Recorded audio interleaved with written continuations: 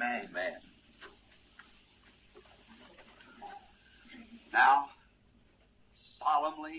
Maintenant, solennellement et avec respect, nous abordons la parole.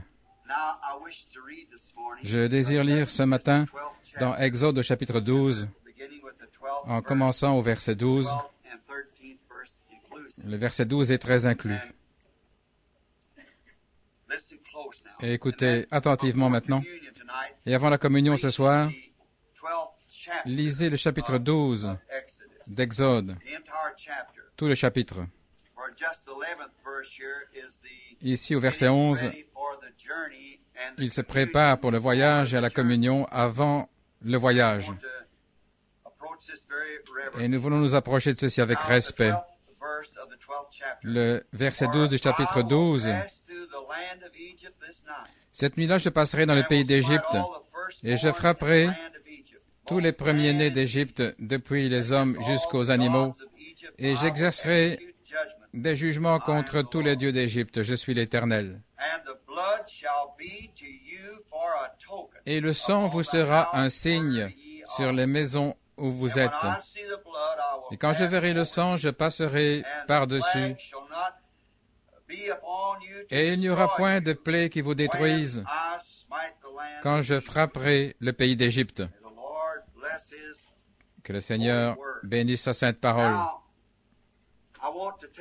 Maintenant, Je vais prendre un sujet de là, un mot de cinq lettres, signe, signe. Je désire parler sur ce mot, plutôt enseigner la leçon d'école de dimanche sur ce mot, un signe.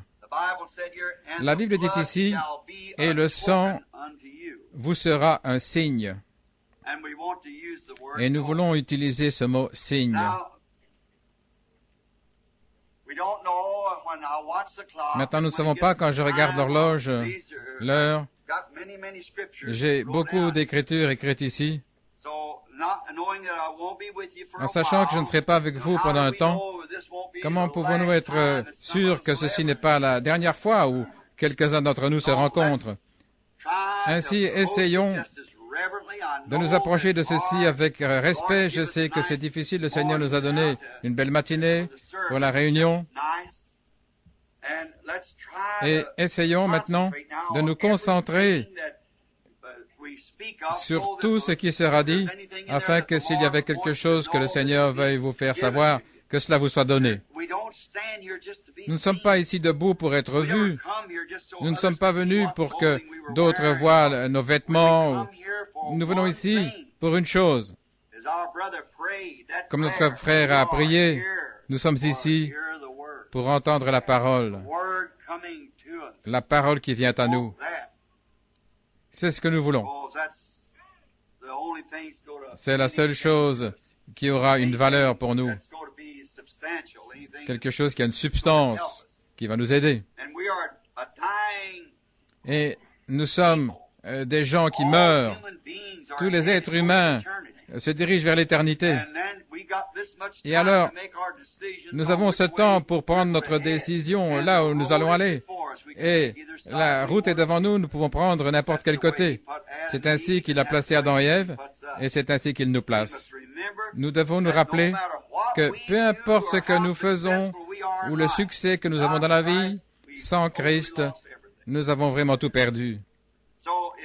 Alors, s'il est tout ce que nous pouvons attendre, alors nous serions les gens les plus fous euh, de ne pas l'accepter et le chérir. Non pas seulement l'accepter, mais vous passez à quelque chose de plus grand.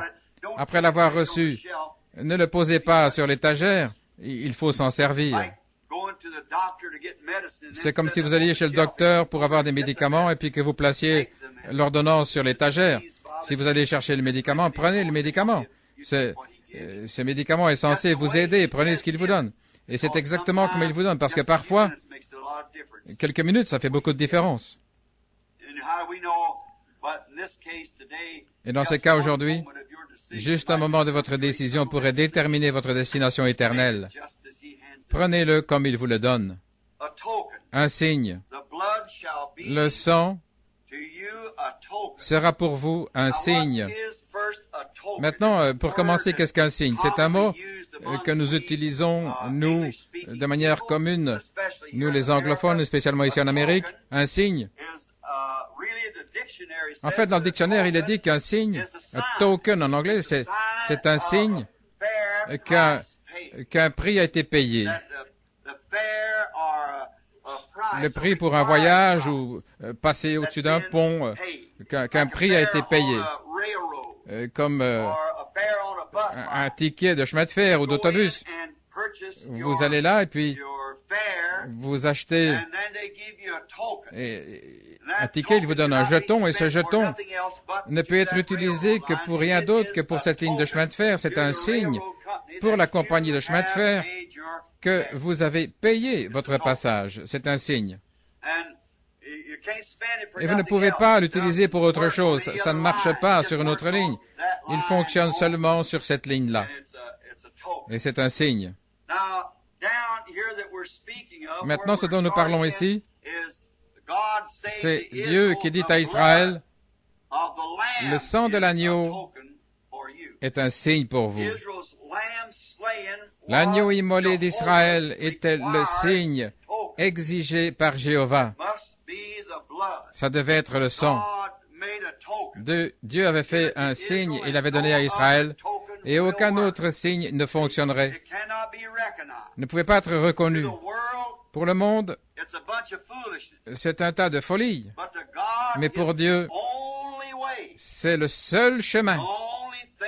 La seule chose qu'il exige, c'est ce signe. Il doit être là. Et vous ne pouvez pas avoir le signe tant que le prix n'a pas été payé. Alors vous êtes possesseur du signe, ce qui vous donne le privilège d'un passage libre, gratuit, quand je verrai le sang. Je passerai au-dessus de vous. Quel temps, quel privilège de savoir que vous emportez en vous euh, ce laisser-passer. Quand je verrai le sang, je passerai au-dessus de vous. La seule chose qu'il reconnaîtra, rien d'autre, ne peut le remplacer, aucun substitut, aucune dénomination, rien d'autre. Il faut l'avoir. Dieu a dit, c'est cela seul que je verrai. Peu importe combien ils étaient justes, bons, euh, l'instruction, comment ils s'habillaient, le signe était la seule chose. Quand je verrai le signe, je passerai par-dessus vous. Le sang était un signe que l'exigence de Jéhovah avait été rencontrée que cela avait été fait. Le sang servait de signe. Le sang était le signe. La vie, Dieu avait dit, le jour où vous en mangerez, ce jour-là vous mourrez. Et une vie de substitution avait été prise là, à la place du croyant. Dieu, dans sa miséricorde, a accepté un substitut pour la vie de la personne souillée. Quand son enfant s'était souillé avec le péché, en étant incrédule à la parole, alors Dieu, riche en miséricorde, a pourvu un substitut, et c'était que quelque chose devait mourir à sa place. Rien d'autre ne pouvait marcher. C'est pourquoi les pommes de Cain, ses pêches, etc. n'ont pas fonctionné. Ça devait être une vie qui contenait du sang. Et la vie devait s'être retirée du sacrifice. Et à ce moment-là, le sang était un signe que l'ordre de Dieu avait été exécuté. Maintenant, qu'est-ce que Dieu exigeait? La vie. Et le sang montrait qu'une vie était partie. Ainsi, le sang était le signe que la vie avait été donnée, que quelque chose était mort, l'exigence de Dieu. Une vie avait été donnée et le sang avait été versé et le sang servait de signe que la vie s'en était allée. La vie de l'animal. Dieu avait dit qu'elle devait lui être enlevée et le sang servait de signe que cela avait été fait. Le croyant, dans son adoration, était identifié à son sacrifice par le signe. Je ne veux pas trop m'attarder sur ces, citations. On pourrait passer toute la réunion euh, sur l'une d'entre elles. Mais je désire m'arrêter ici pour euh, exprimer le fait que le croyant devait être identifié avec son sacrifice. Voyez-vous, ce n'était pas juste un sacrifice qu'il aurait donné et qui était offert quelque part, mais il devait être identifié, franchement, il devait placer ses mains dessus afin de s'identifier avec son sacrifice. Et le sang était placé à un endroit où il pouvait se tenir sous le sang. Le sang devait être au-dessus de lui. Et c'était un signe qu'il s'était identifié comme coupable et qu'il présentait la preuve qu'un substitut innocent avait pris sa place. Oh, quel beau tableau. Un racheté. La justice avait été rendue.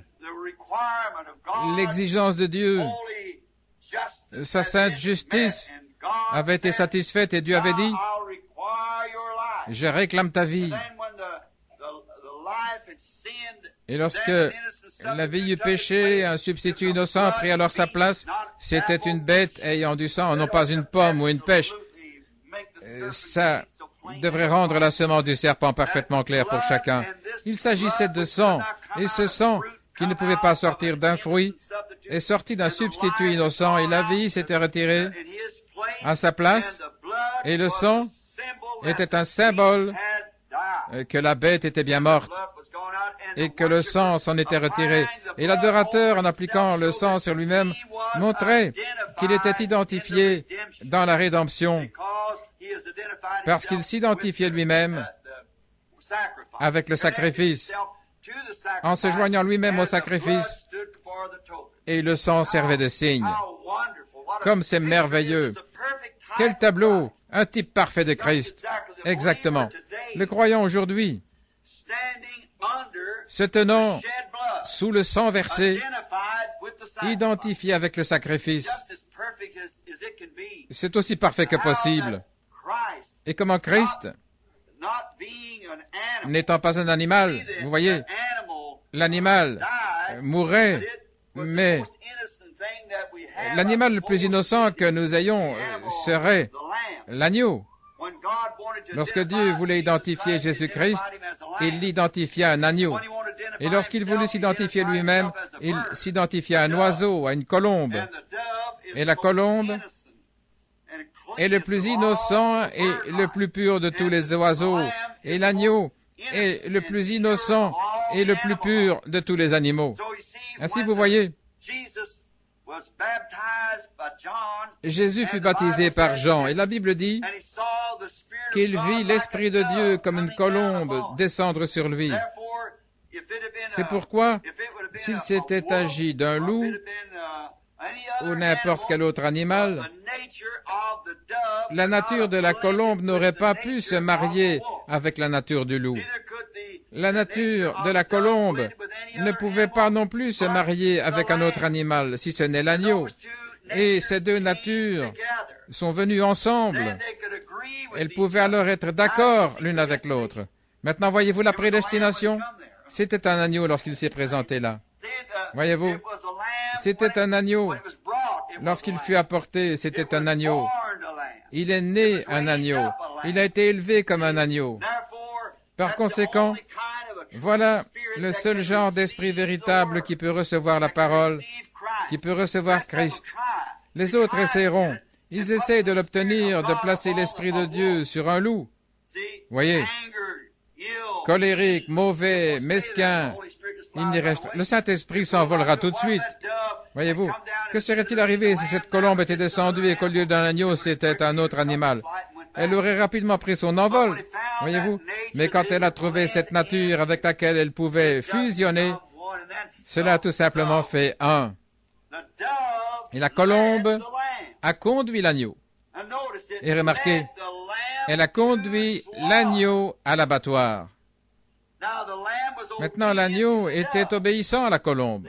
Voyez-vous Peu importe où elle le conduisait, il était prêt à y aller. Je me demande aujourd'hui, alors que Dieu nous mène à une vie d'abandon complet et de service pour lui, je me demande si nos esprits ne se rebellent pas parfois, montrant euh, si, nous sommes vraiment des agneaux, voyez-vous. Un agneau est obéissant. Un agneau se sacrifie. Il ne réclame rien de lui-même. Vous pouvez l'étendre là, lui tondre sa laine, c'est tout ce qu'il possède. Il ne dit rien. Il sacrifie tout ce qu'il a. Voilà ce qu'est un agneau. Il donne tout. Il donne tout, lui-même et tout ce qu'il est. Et c'est ainsi avec un vrai chrétien. Il se sacrifie eux-mêmes, ne portant aucun intérêt à ce monde, mais donnant tout à Dieu. Et c'était l'agneau parfait, Christ. Et puis, par le sang versé de cet agneau, l'agneau naturel en Égypte, le sang était appliqué, c'était comme un signe.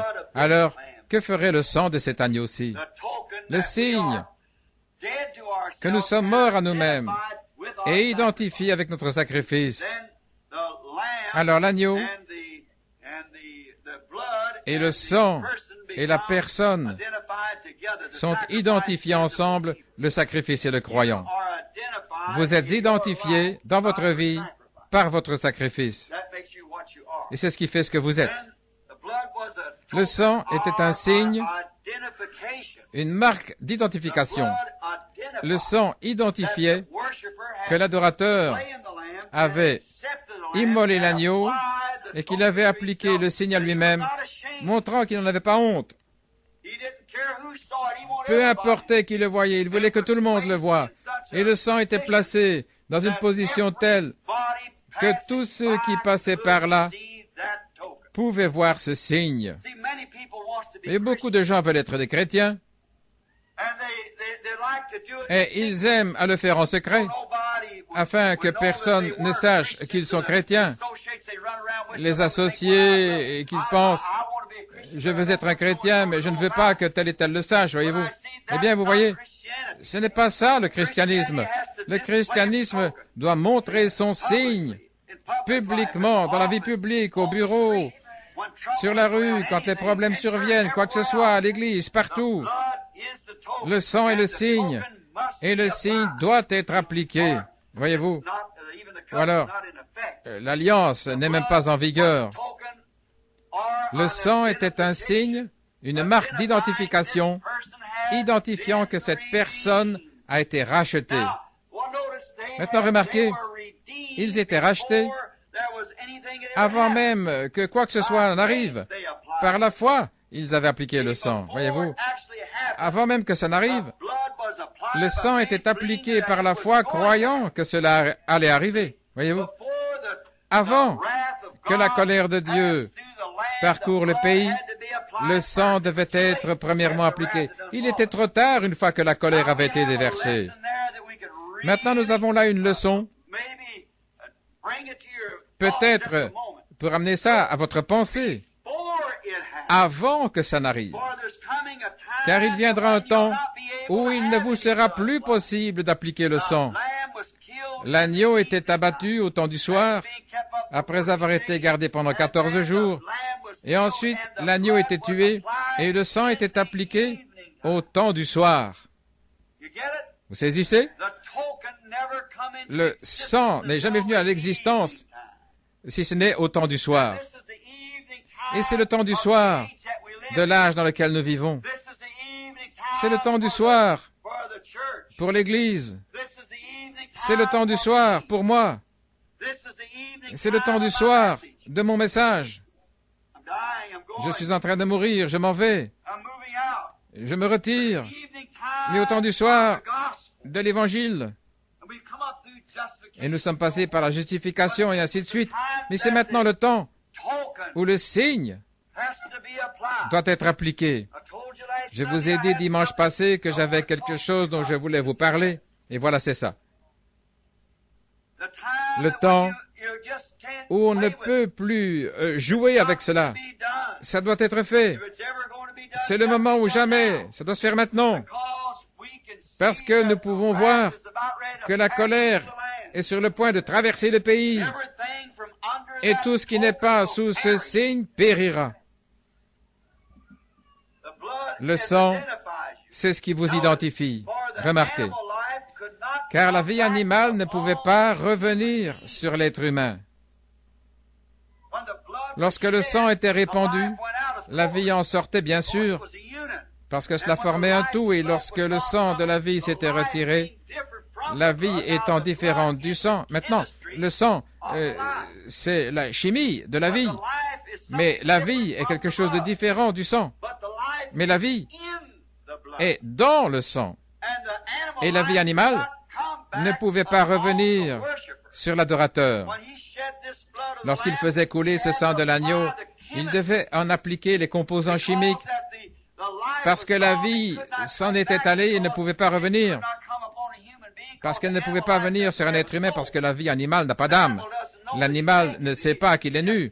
Il n'a aucune conscience du péché. Il ne connaît pas le péché, donc c'est un être vivant, mais pas une âme vivante. Par conséquent, cette vie animale ne pouvait pas revenir sur une vie humaine parce que dans cette vie-là, il n'y avait pas d'âme. Maintenant, il y a une vie, un sang, une vie et une âme dans la vie. L'âme est la nature de la vie. Il n'y avait donc pas de nature particulière, c'était un animal. Par conséquent, le sang était là comme signe que la vie avait été donnée. Mais dans cet endroit glorieux, sous cette alliance, il y a une différence entre le sang et la vie. Le signe pour le croyant aujourd'hui, c'est le Saint-Esprit. Non pas du sang des composants chimiques, mais c'est le Saint-Esprit de Dieu. C'est le signe que Dieu exige de l'Église aujourd'hui. Dieu doit voir ce signe. Il doit le voir en chacun de nous. Donc, comme les ombres du soir apparaissent et que la colère est prête à être déversée d'en haut sur les nations impies et sur les incroyants impies, ceux qui font une profession sans posséder la chose, sur ces choses. J'ai essayé de m'ouvrir, de vivre au milieu de cela pour voir ce qu'il en était avant de dire ces choses. Nous vivons dans l'ombre et la colère est prête à frapper. Et Dieu exige un signe que vous, vous-même, ayez reçu son signe. Le Saint-Esprit, c'est le seul moyen, le seul signe par-dessus lequel Dieu passera, parce qu'il s'agit de la vie littérale de Jésus-Christ revenu dans le croyant. La vie animale ne pouvait pas revenir. Par conséquent, du sang devait être placé sur la porte, sur le linteau et sur les poteaux de la porte, de sorte que tous les passants, la foule, tous ceux qui passaient devant cette maison, savaient qu'il y avait un signe sur cette porte du sang, montrant qu'à cette porte-là une vie s'était éteinte. Amen. C'est ainsi avec chaque croyant aujourd'hui, rempli du Saint-Esprit, un signe que le sang répandu de l'agneau, que cette vie qui était dans l'agneau est revenue et elle est scellée publiquement à l'intérieur de façon que toute personne qui passe, qui vous parle, qui a des rapports avec vous, voit que le sang a été appliqué, que le signe de la vie qui était dans ce sang est sur vous. Vous êtes en sécurité par rapport à la colère. C'est la seule. Pas être membre, non monsieur. La vie animale ne pouvait pas venir sur le croyant parce que c'était un animal. Cela témoignait seulement d'une conscience montrant qu'un sacrifice parfait viendrait. Et maintenant, comment pourrait-il y avoir un sacrifice plus excellent que Dieu lui-même devenant l'expiation lui-même, alors que Dieu, de son propre sang créateur, a été fait chair, le seul moyen qu'une vie de Dieu puisse jamais revenir, parce que nous étions tous nés par le sexe, et par conséquent la vie qui se trouve là est du monde. Et cette vie ne tiendra pas, c'est une chose qui est déjà jugée et condamnée. Vous ne pouvez pas la rapiécer. Il n'y a pas moyen de la rapiécer. Il n'y a pas moyen de l'améliorer. Ça doit être Elle doit mourir, c'est la seule exigence, elle doit mourir. Et le substitut, une vie de Jésus-Christ, doit venir en vous, ce qui est le Saint-Esprit, le signe de Dieu, montrant que vous avez accepté le sang de son Fils Jésus-Christ. Au jour de Wesley, ou plutôt de Luther, on pensait, il faut croire au jour de Wesley, les composants du sang. Mais c'est maintenant le dernier jour où le signe est exigé. Tout cela forme ensemble l'unité complète pour l'enlèvement. Vous voyez? L'eau, le sang et l'esprit viennent lorsqu'une maman donne naissance au bébé. La première chose qui s'échappe lors d'une naissance, c'est l'eau. Ensuite, c'est le sang. Et la chose ensuite, c'est la vie. Du corps de notre Seigneur Jésus-Christ sortir de l'eau, du sang et la vie. Et toute l'Église, l'épouse, a été formée à travers la justification, sanctification et le baptême du Saint-Esprit, ce qui est le signe, comme le dit Hébreu 11. Tous ceux-là qui allèrent ça et là vêtus de peau de brebis et de chèvres, qui étaient dénués de tout, et toutes ces choses qu'ils firent, cependant, ils n'arrivèrent pas à la perfection sans nous.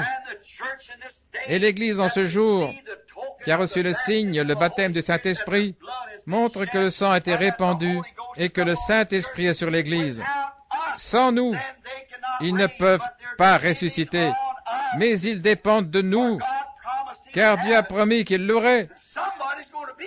Et quelqu'un sera là, je ne sais pas qui ce sera, mais quelqu'un le recevra. La seule chose dont je suis responsable, c'est de le prêcher. C'est l'affaire de Dieu de regarder à cette semence prédestinée. Il y en aura là, parce qu'ils seront là, chacun d'eux, l'un avec l'autre. L'âge de l'eau, l'âge du sang et maintenant l'âge du signe du Saint-Esprit. Et souvenez-vous, Israël passa par beaucoup de choses, mais c'était au temps du soir que le signe fut exigé. Pas le matin, pendant la préparation des quatorze jours, où il gardait l'agneau. Israël savait que quelque chose allait venir. Luther le savait. Wesley aussi, Finney, Knox, Calvin le savaient. Nous y voici. Ils savaient qu'à un certain moment la colonne de feu reviendrait à l'église. Ils savaient qu'à un certain moment ces choses se produiraient. Seulement ils n'ont pas vécu assez longtemps pour le voir, mais ils s'y attendaient. Israël savait que quelque chose allait venir, mais c'était au temps du soir que le sang de cet agneau, le signe, fut placé sur la porte. Toutefois, l'agneau avait déjà été gardé. Il s'est agi de l'agneau tout le long. Au temps de Luther, c'était l'agneau, au temps de Wesley. Mais c'est maintenant le signe, où chaque maison doit être couverte du signe. Chaque maison de Dieu doit être couverte par le signe. Tout ce qui se trouve à l'intérieur doit être couvert par le signe. Et la maison de Dieu est le corps de Jésus-Christ. Et par un seul esprit, nous sommes tous baptisés dans ce signe et nous en devenons une partie dont Dieu a dit, quand je verrai ce signe manifesté, je passerai au-dessus de vous. Quelle heure dans laquelle nous vivons? Du sang identifié, identifié de croyants parce que la vie s'était retirée. Il ne pouvait pas revenir. Il fallait donc qu'il y ait des composants chimiques. Il devait y avoir une espèce de, de peinture du sang, des composants chimiques qui montraient que la vie s'était allée. Et maintenant, l'Esprit lui-même est le signe.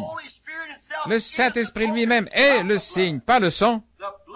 Le sang a été répandu au calvaire, c'est vrai. Mais le sang, en tant que tel, est retourné aux éléments dont il avait été pris, les aliments dont il se nourrissait. Mais vous voyez, à l'intérieur de cette cellule de sang, il y avait une vie et qui a mis la cellule de sang en mouvement. Les composants chimiques en soi n'avaient pas de vie, par conséquent, ils ne pouvaient pas bouger. Mais lorsque la vie est entrée dans les composants chimiques du sang, elle forma une cellule, elle forma sa propre cellule, et cellule après cellule, c'est devenu un homme, et cet homme était Dieu, Emmanuel dans la chair. Mais quand cette vie est revenue, les composants chimiques sont allés là, mais le signe est le Saint-Esprit sur l'Église, de telle sorte qu'il voit Christ. Ça doit être ainsi, parce qu'une femme et son mari deviennent un. Ils deviennent un. Et de même, l'épouse et Christ deviennent un. Le ministère de l'épouse et le ministère de Christ sont le même. Vous vous souvenez, Théophile, je t'ai parlé dans mon premier livre de ce que Jésus a commencé à faire et continue à faire.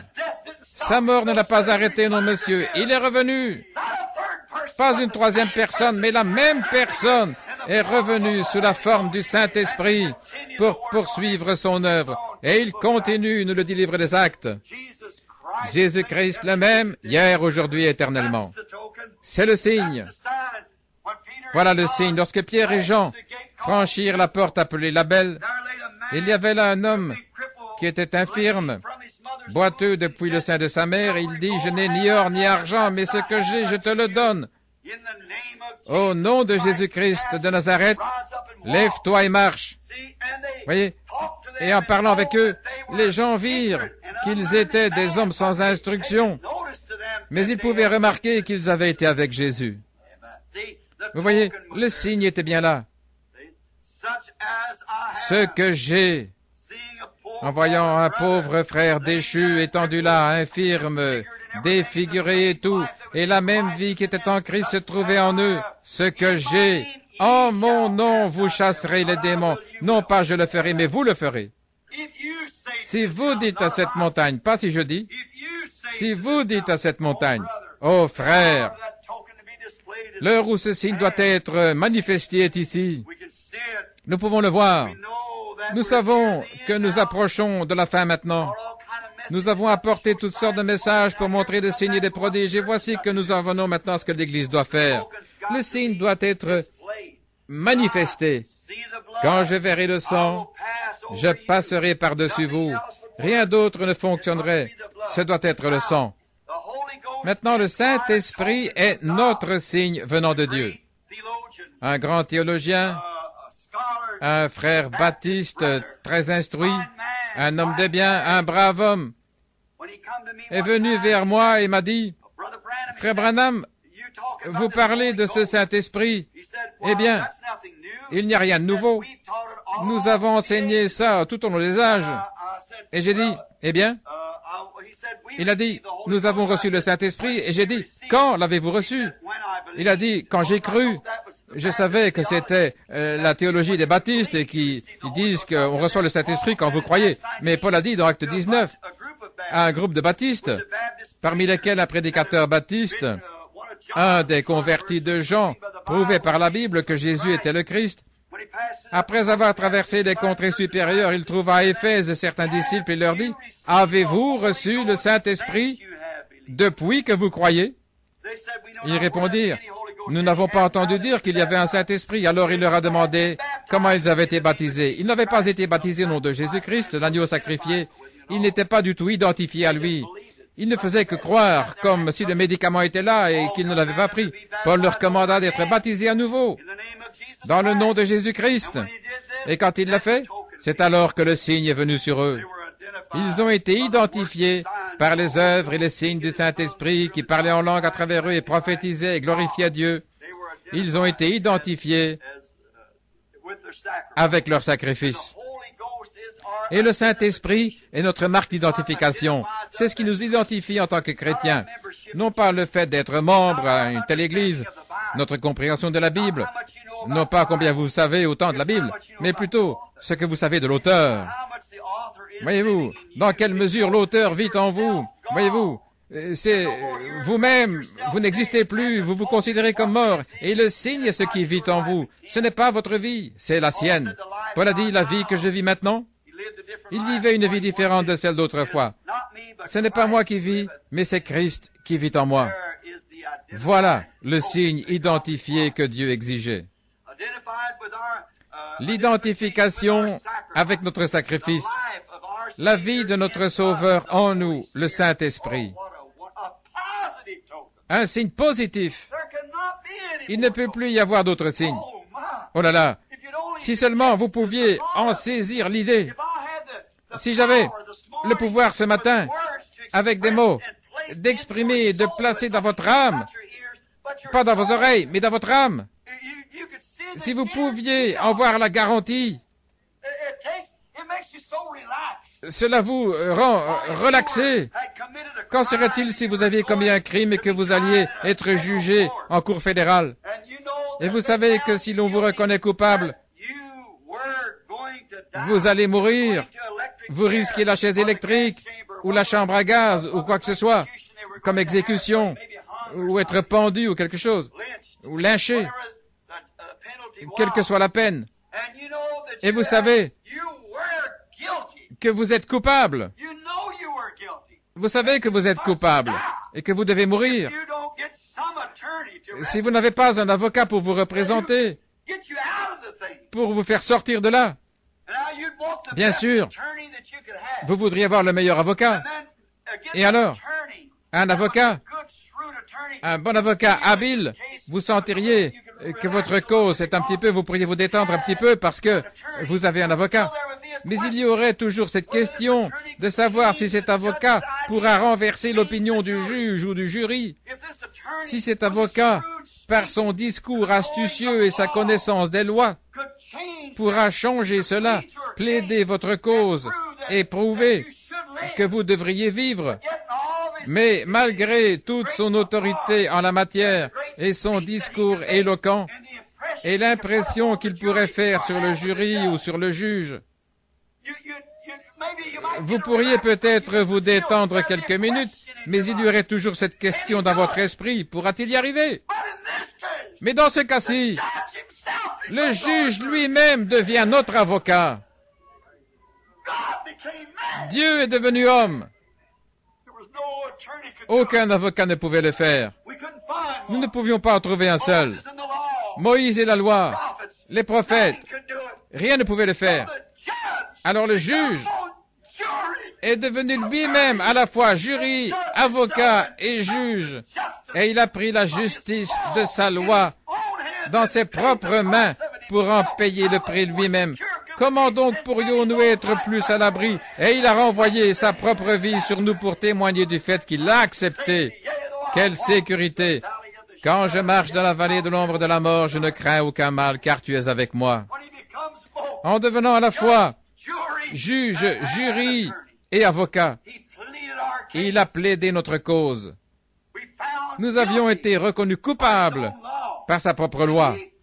Et il est venu prendre la place de la personne coupable dans le sanctuaire. Il a pris son péché. Il a pris sur lui-même. Il est mort. Il a payé le prix. Il a versé son sang. Et il a renvoyé son propre signe sa propre vie. Alors nous sommes parfaitement... L'affaire est réglée. Il n'y a plus de péché pour le croyant. Oh, que Dieu soit miséricordieux. Si les gens pouvaient voir cela. Il n'y a plus de cause à plaider. Celui qui écoute mes paroles et qui croit celui qui m'a envoyé à la vie éternelle. Et il ne viendra point en jugement, mais il est passé de la mort à la vie. Voilà ce qu'il en est du cas. La chose est réglée. Il n'y a plus, il n'y a plus de cas. Alors nous sommes en sécurité, en sécurité avec le signe appliqué. Quand la mort se met à frapper à la porte là, elle n'a aucun pouvoir. Oui. Le signe est appliqué, seul le signe est reconnu maintenant. Il a fait cela afin que le signe puisse venir. Le signe était la vie de Dieu. Et Dieu, en faisant le premier homme, il s'est fait un fils et le fils était tellement corrompu qu'il a écouté sa femme plutôt que Dieu. Et la femme a écouté le diable plutôt que son mari. Et à ce moment-là, cela s'est tellement corrompu ensemble que Dieu, euh, que cela a entraîné une pollution et lui savait qu'étant donné qu'ils avaient fait cela, il faudrait qu'ils mettent les enfants au monde. Le fruit du milieu de l'arbre ne devait pas être touché. Alors Adam et Ève se sont attirés ce péché. C'est ainsi que toute la race humaine qui est née euh, dans le péché, et il n'y avait aucun moyen d'en sortir. Et alors Dieu est descendu. Il n'y a qu'un moyen de le reprendre, c'est de se pourvoir à nouveau un fils. Et comment peut-il le faire? Alors que sa propre loi se tenait là déclarant il est condamné. Alors le Père lui-même est devenu l'un de nous. Voilà le véritable agneau. Voilà le dessin qu'il avait en tête. Voilà la raison pour laquelle l'agneau fut ainsi identifié dans le jardin d'Éden, sachant que l'agneau et la colombe se rencontreraient à un certain moment, lorsque l'agneau et la colombe seraient ensemble. C'est à ce moment-là, il le savait, que grâce à cela nous pourrions être tous ensemble, et il était disposé à faire un tel sacrifice afin que le signe puisse être appliqué. Et nous ne sommes plus privés du droit de citer, nous ne sommes plus des étrangers, mais nous sommes des fils et des filles de Dieu. À la fois dans Ève, la femme et l'homme, unis, sont fils et filles de Dieu en Christ Jésus par son grand sacrifice. Et ensuite, pour qu'il n'y ait pas d'erreur, la semence de cette vie qui doit être plantée dans la terre, ce corps-ci, qui est une semence périssable, et la vie, si c'est une vie pervertie qui se trouve à l'intérieur de la semence, elle périt avec la semence. Mais lui a placé en elle la vie éternelle et l'a identifiée comme étant à lui, afin qu'à la résurrection il la ressuscite et qu'elle ne soit pas perdue. Voyez-vous ce que je veux dire? Voilà, c'est là. Elle ne peut pas périr. La vie la recouvre. C'est un signe. Là, sur ce petit corps, sur cette âme de cette personne, il y a un signe, le Saint-Esprit montrant qu'elle appartient à Dieu. Elle est à lui. Quand je verrai le signe, je passerai par-dessus vous. Un signe positif. Le Saint-Esprit est notre signe. Par conséquent, quand vous recevez le Saint-Esprit, vous êtes passé de la mort à la vie. C'est aussi simple que ça. Parce que la vie est en vous, vous ne pouvez plus périr. La Bible dit, quiconque est né de Dieu ne pratique pas le péché, car il ne peut pas pécher. Parce que la semence de Dieu. Amen. La semence de Dieu demeure en lui. Alors comment peut-il pécher? Alors que le Dieu sans péché est en lui Alors qu'il est un Dieu sans péché, comment peut-il pécher? Peu importe ce qu'il a fait, le sang l'a couvert. Il est une nouvelle créature maintenant. Ses désirs et ses ambitions viennent du ciel, parce qu'il a été changé d'un gratron en un grain de blé. Ses désirs ne sont plus les mêmes qu'avant. Et il le montre. Vous dites, je crois cela et vous péchez encore? Non, non, vous êtes séduit. Il ne peut mettre en évidence rien d'autre que le signe. Israël avait reçu l'ordre de demeurer sous le sang jusqu'à ce que la consigne de marche leur fût donnée. N'en sortez pas. Une fois sous ce signe, ils étaient scellés à l'intérieur. Ne quittez pas cela. Ils restèrent là jusqu'à ce que sonne le coup de minuit et que les trompettes sonnent. Et lorsque les trompettes sonnèrent et que ces vieilles cornes de bélier commencèrent à résonner, chacun d'eux sortit avec ses provisions et se mit en route vers la terre promise. Il en va de même pour un homme ou une femme qui est rempli du Saint-Esprit.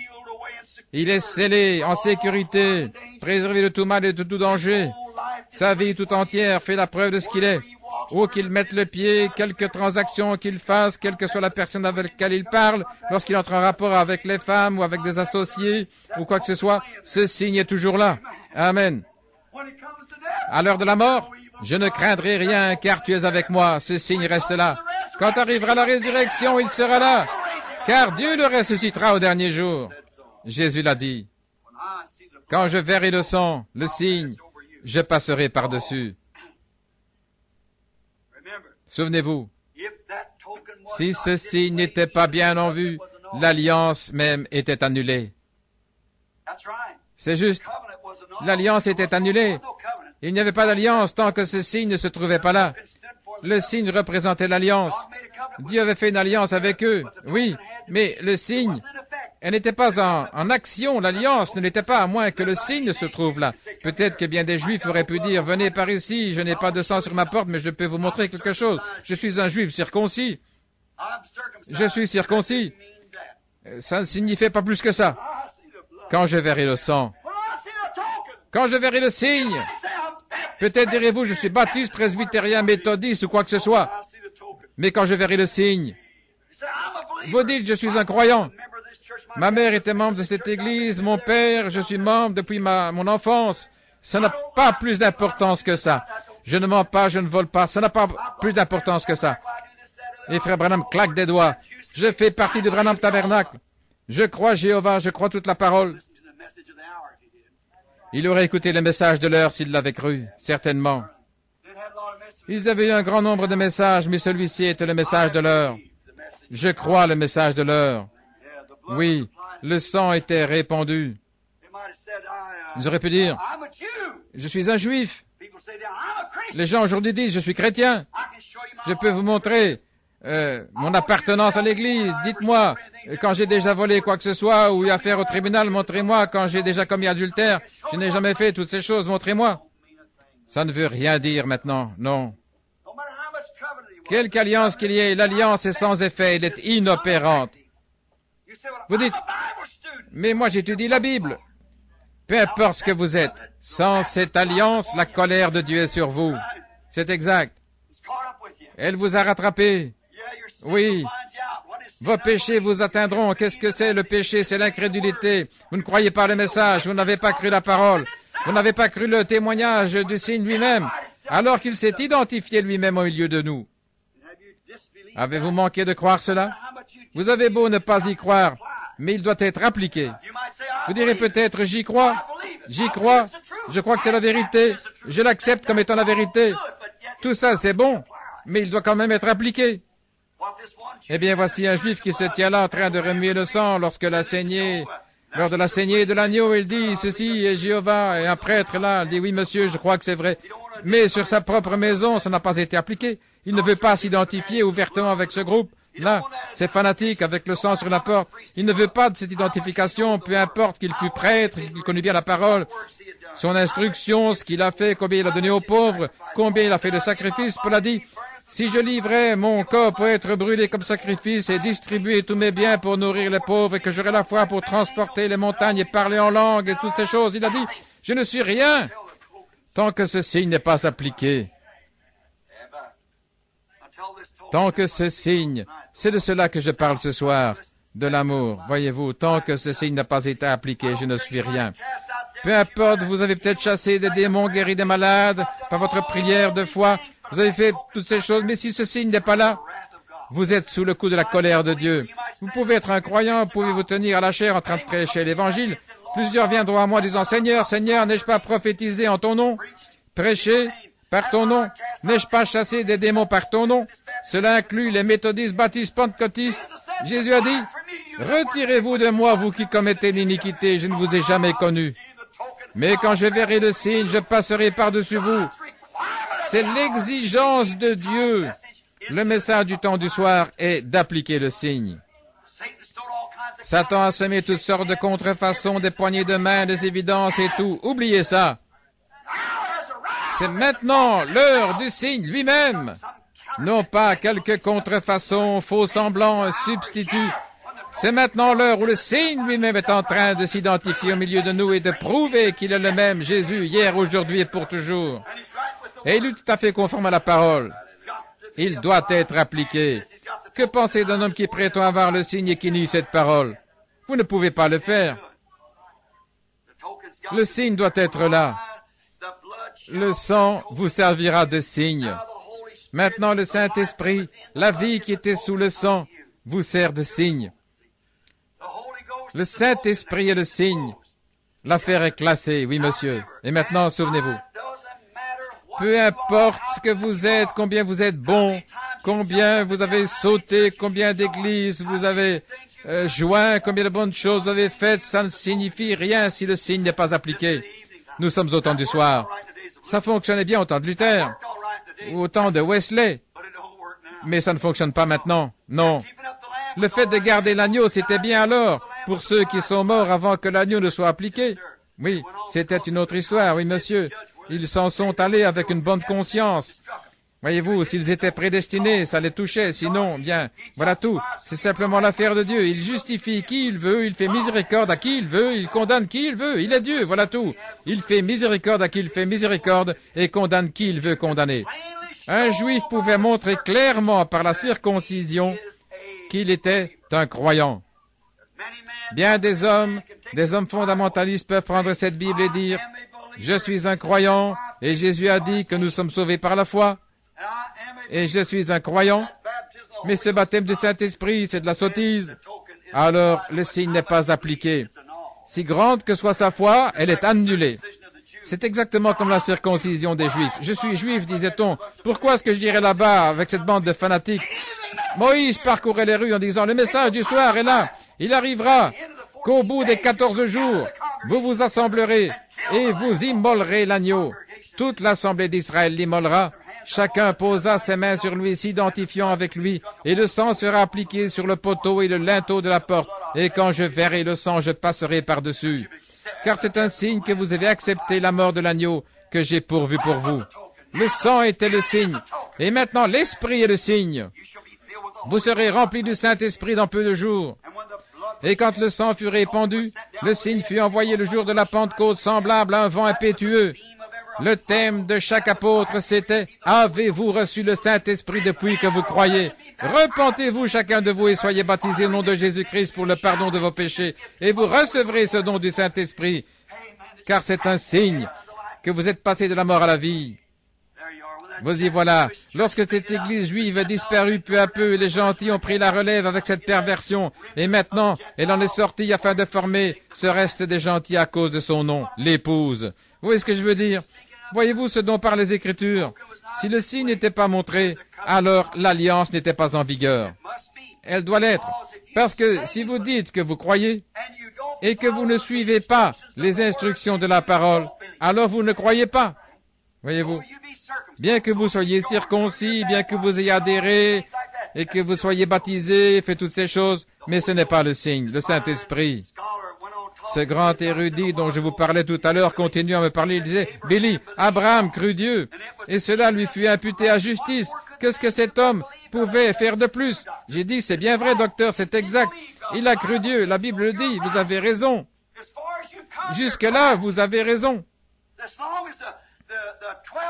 les douze espions qui avaient été envoyés pour aller explorer le pays de Canaan, tant qu'ils avançaient dans cette direction, ils gagnaient du terrain.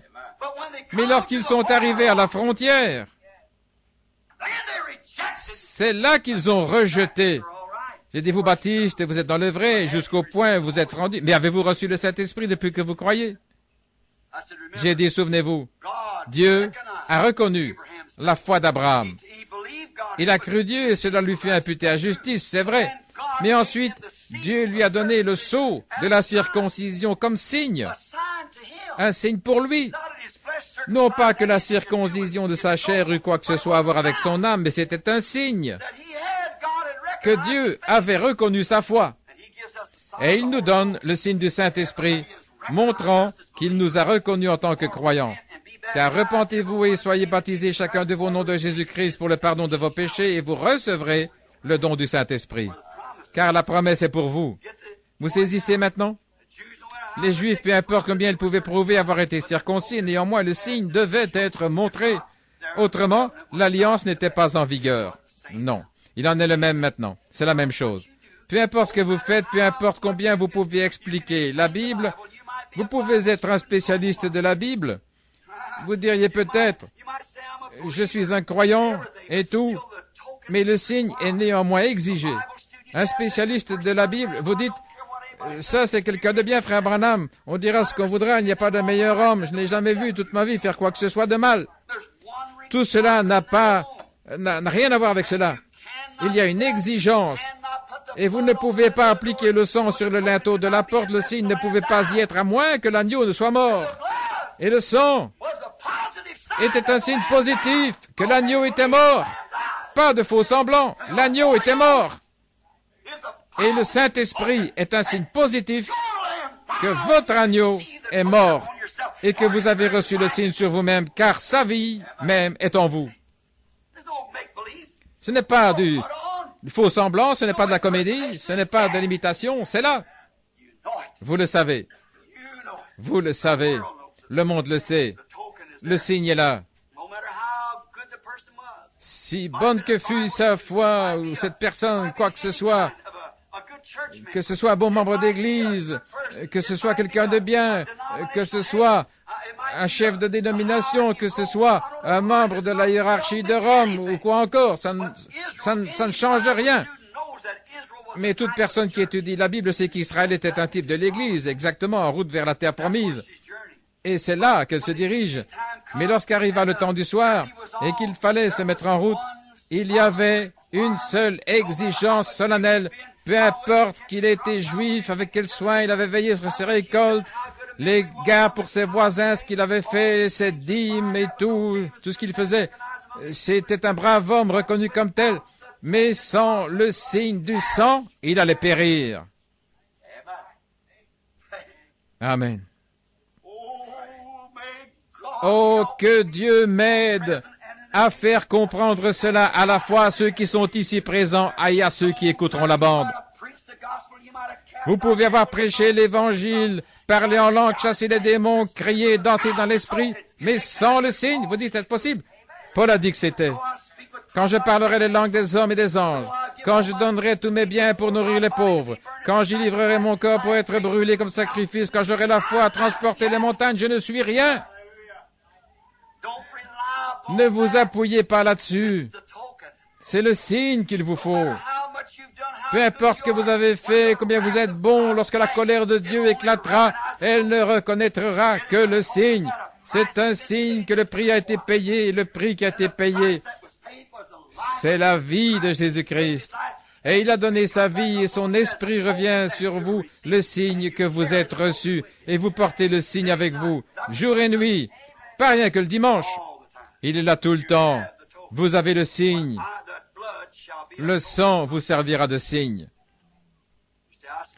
Vous dites oui, mais je crois, je suis un croyant, c'est bien, mais si vous rejetez le signe, alors comment pouvez-vous être un croyant? Cela vous trahit, voyez-vous.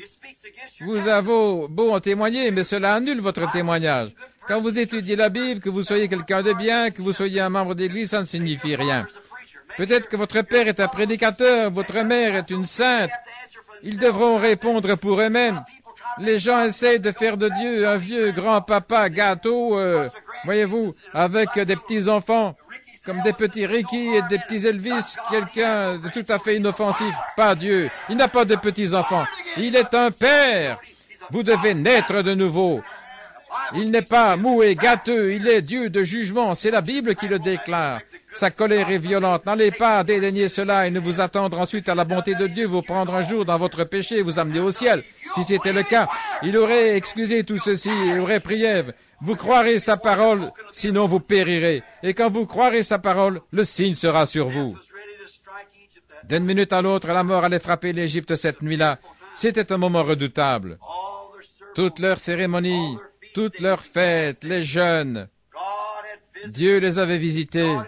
Dieu avait montré ses grands signes et prodiges au milieu d'eux. Qu'est-ce?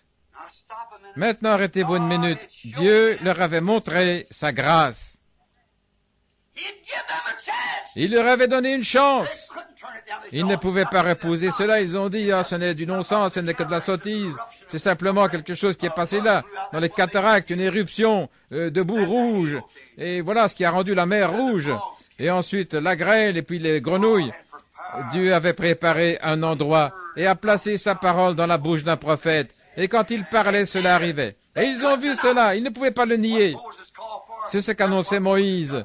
C'est ce qu'il recevait de Dieu parce qu'il ne prononçait que la parole de Dieu. Celui-ci avait dit, je ferai de toi un Dieu. Moïse était pour eux un Dieu.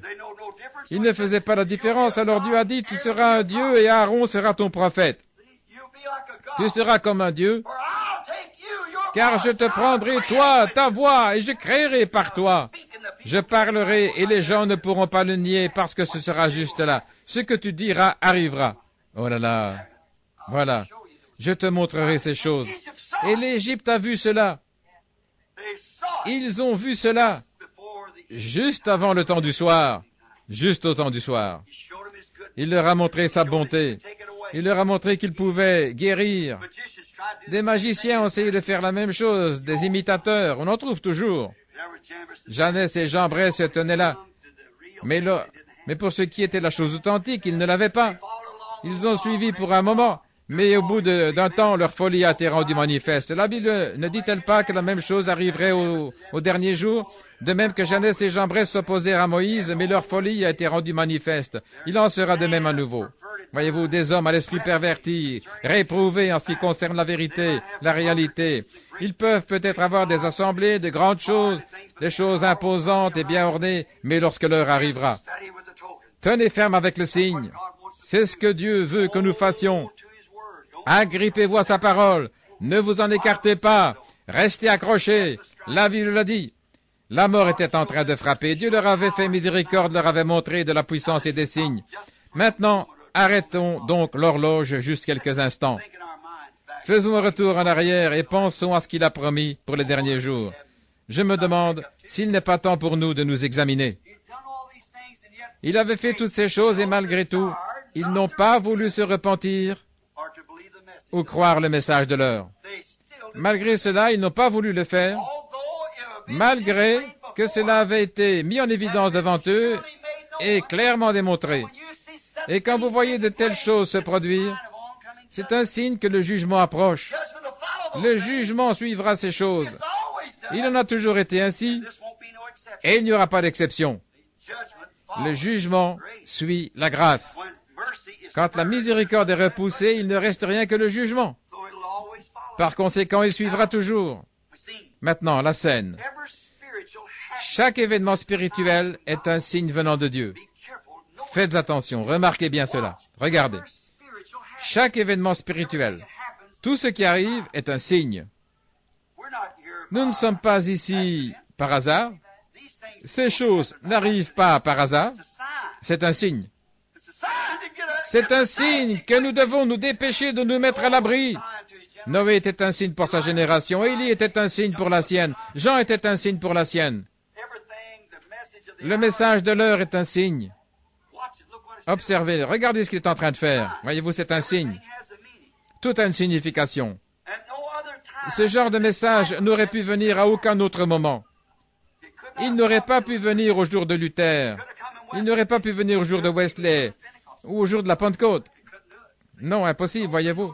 Rien de cela n'est arrivé. Mais pourtant, cela nous avait été promis dans la Bible. Nous sommes à la fin. Rien ne pouvait arriver. Il n'aurait pas pu arriver avant ce moment-ci, et il arrive en guise de signe. Quel est le signe? Oh, mon frère, ma sœur, mettez-vous sous le signe sans tarder. Ne vous contentez pas d'un substitut, ne faites pas cela. N'imaginez pas, restez là, jusqu'à ce que vous sachiez que le signe est appliqué, jusqu'à ce que la pensée qui était en Christ soit en vous, jusqu'à ce que toute la folie du monde soit sortie de vous, jusqu'à ce que le seul désir de votre cœur soit lui. Alors vous saurez, vous saurez que quelque chose est en train de se produire. Jésus a dit, voici les signes qui accompagneront ceux qui croient. Pas les soi-disant croyants, mais les croyants. Voyez-vous?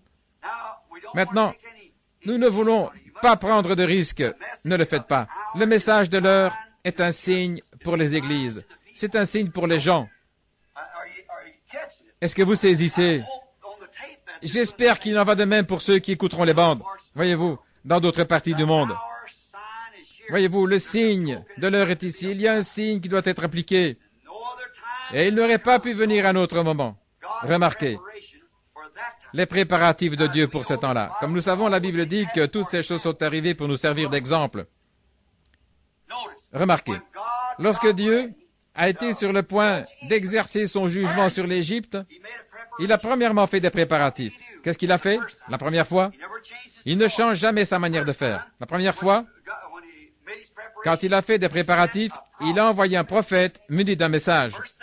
La première chose qu'il a faite pour son peuple, c'était d'envoyer un prophète avec un message. Ce qu'il a fait ensuite, pour identifier ce prophète, c'est qu'il a envoyé une colonne de feu en guise d'identification pour l'identifier. Et la troisième chose qu'il envoie, c'était le signe. C'est exactement correct. Le signe, que signifiait le signe? L'assurance. Premièrement, son prophète avec un message. Il s'est identifié au moyen d'une colonne de feu avec son prophète. Ensuite, il a envoyé un signe. Il fallait se placer sous ce sang qui montrait qu'il y avait accepté la mort de substitut à sa place. Alors le sang était un signe qu'il regardait, qui montrait que vous aviez entendu le message, que vous aviez cru à la colonne de feu, et que vous avez accepté le substitut qu'il avait pourvu pour vous. Et vous étiez sous le sang des composants chimiques, même de la vie qui avait été donnée pour vous. Oh là là, comme c'est parfait. Comme c'est parfait. Vous êtes sous le sang. Maintenant, vous êtes sous l'Esprit, sous le Saint-Esprit, voyez-vous. Vous croyez le message du jour.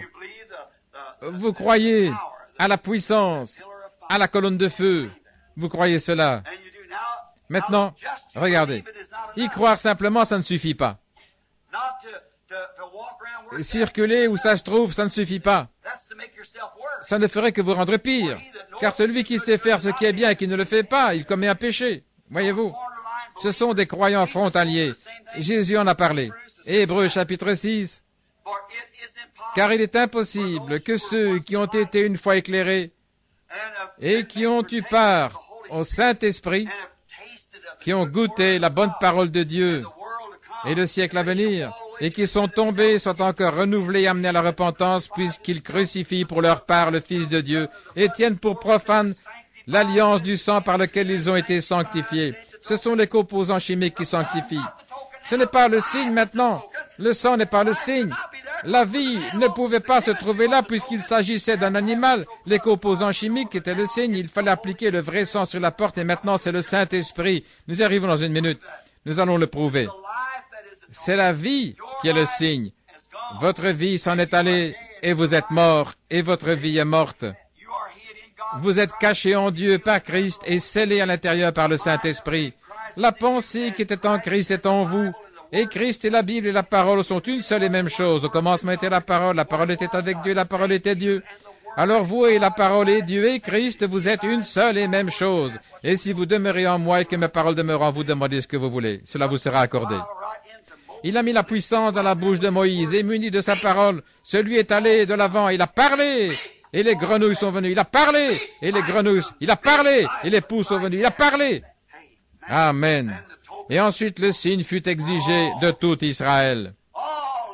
Le signe était obligatoire pour tout Israël, et quand je verrai le signe, je passerai par-dessus. Oh là là, quelle assurance La sortie d'Égypte d'Israël était un type de l'antitype d'aujourd'hui. L'Égypte était l'Église, et Israël représentait l'épouse. Et de même qu'Israël est sorti de l'Égypte, l'épouse sort de l'Église. Voyez-vous? Il faut donc qu'il y ait là quelque chose dont elle doit sortir. Et elle doit en sortir puisque c'était un type. Et l'Église est là-bas en Égypte, dans le monde et dans le péché. Et elle ne se soucie pas le moins du monde de votre signe. Ils n'y croient même pas. Mais Israël l'aimait, car c'était leur salut. Oh, cela devrait nous rendre heureux. Notre cœur. Oh, Église, appliquez-le.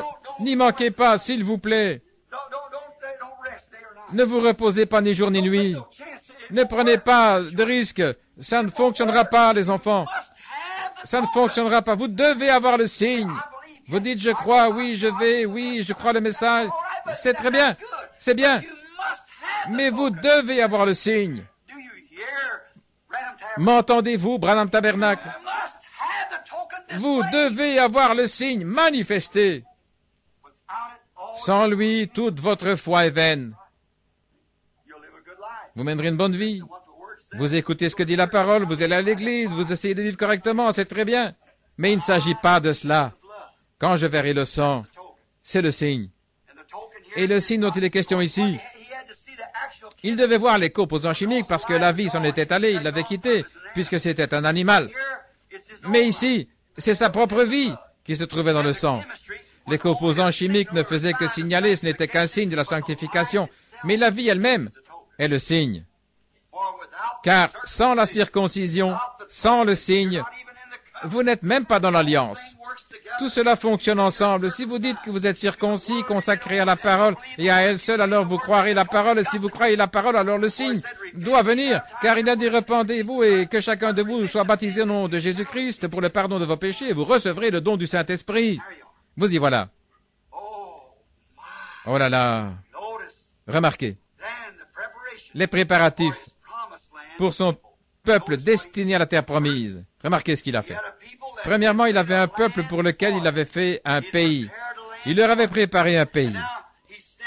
Et il avait envoyé ce qu'il fallait pour le préparer, des préparatifs pour le peuple destiné à la terre promise. C'était seulement pour ceux qui étaient prédestinés à entrer dans cette terre promise.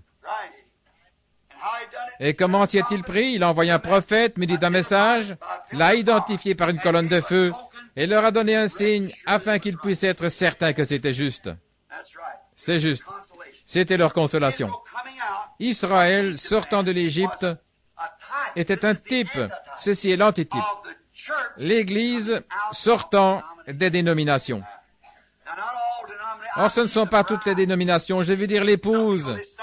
Certains de ces indépendants sont aussi mauvais que ceux des dénominations, parfois même pire. Ce dont je parle, c'est du signe appliqué, l'épouse du signe. Le signe est d'accord sur chaque parole, voyez-vous, il faut qu'il en soit ainsi, c'est la vie, la vie qui était dans la parole. Mes paroles sont spirituelles, elles sont la vie, a dit Jésus. Quand Moïse a commencé son ministère parmi le peuple d'Israël, accompagné de grands signes, vous voyez, Israël est rapidement venu de toute l'Égypte pour se rassembler en Goshen. Ils sont revenus dans leur patrie parce qu'ils savaient que quelque chose allait arriver. Oh là là, quel type Ils viennent de l'Est et de l'Ouest. Ils viennent de pays lointains, c'est vrai. Vous connaissez ce chant À la fête du roi, mangez à sa table. Que ces pèlerins sont bénis, contemplant son saint visage, brillant d'un éclat divin, participant de sa grâce, les joyaux de sa couronne. Oh, Jésus revient bientôt. Alors nos peines seront terminées. Oh, si notre Seigneur venait maintenant, pour ceux qui sont libres du péché, seriez-vous dans la joie? Ou le chagrin, la peine? Quand il viendra dans la gloire, nous le rencontrerons dans les airs, montrant le signe. Je le ressusciterai au dernier jour. Certainement, nous sommes en ces jours-là. Le peuple s'est rassemblé en Goshen. Ils étaient prêts, ils savaient que quelque chose allait arriver. Prenez par exemple les canards, quand vient le moment d'émigrer, ils partent ensemble. Quand les abeilles, tous s'apprêtent à partir, il y a un instinct qui les attire. Le Saint-Esprit attire les gens. Quand est venu le moment où la grande colère de Dieu allait être déversée, voici venir deux canards, un mâle et une femelle. Voici venir deux oies, un mâle et une femelle. Voici venir deux chevaux, un mâle et une femelle. Quelque chose les attirait. Ils étaient prédestinés. Les autres ont péri. Oh, frères! Mais ceux qui se sentaient attirés à entrer, eux savaient que l'arche avait été préparée. C'était un signe que la pluie allait venir. Ils savaient que la pluie allait venir. Quelles que soient les apparences, ce que pouvaient bien en penser les autres gens, ils savaient. Quelque chose à l'intérieur leur disait, entre vite à l'intérieur, entre. Parce que c'est le seul endroit pourvu. Parce que Dieu avait préparé un prophète. Il avait envoyé l'arche comme signe. Il leur a dit, entrez-y. La pluie allait venir. Et ils y sont entrés deux par deux. Tous les animaux sont entrés deux par deux dans l'arche. Parce qu'ils étaient entrés à l'intérieur sans se soucier de ce que les autres. Et tous ceux qui étaient en dehors de l'arche ont péri. Tous ceux qui étaient en dehors du signe du sang ont péri. Tous. Tous ceux qui seront en dehors du signe du Saint-Esprit périront. Peu importe qu'ils soient bons, membres d'Église. Il y en avait beaucoup à l'époque de Noé, à l'époque de Moïse. Mais si un homme omettait d'appliquer le sang, il périssait. Ceux qui ont mis d'entrer dans l'arche ont péri. 1 Corinthiens 12. Nous avons été tous baptisés dans cet esprit pour former un seul, non pas l'Église, mais non pas les dénominations, mais le corps mystique de Jésus-Christ, par un seul esprit, E-S-P-R-I-T. Nous sommes tous immergés dans ce corps. Alors le signe est sur la porte, car vous êtes en Christ, et il est celui qui s'est tenu là, votre sacrifice, qui a pris le jugement sur lui. Et quand Dieu regarde cela, il ne peut rien faire. Vous êtes en parfaite sécurité, puisque Dieu et Christ sont une seule et même personne. L'Esprit a été fait chair et habité parmi nous. Et voici Dieu avec lui-même.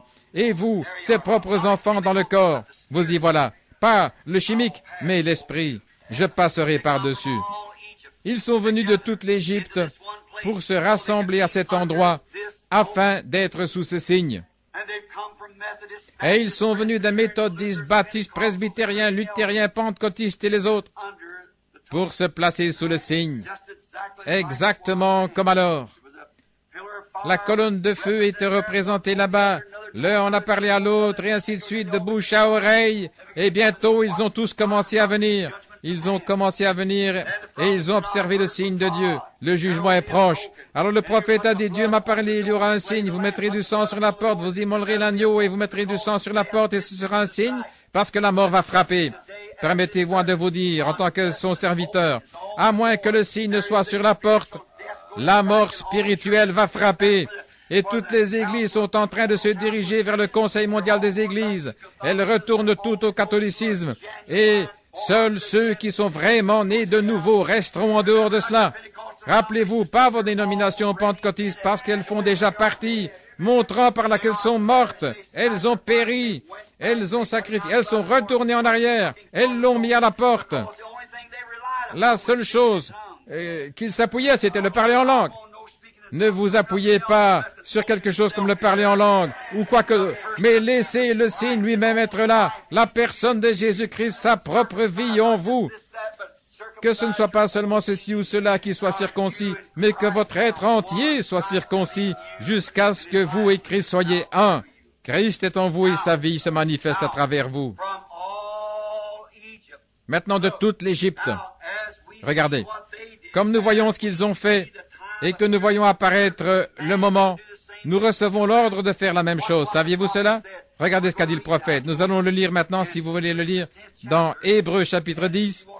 Si vous voulez le lire avec moi, je veux lire un verset ou deux avant de continuer. Hébreu 10, commençons verset 26 du chapitre 10 des Hébreux.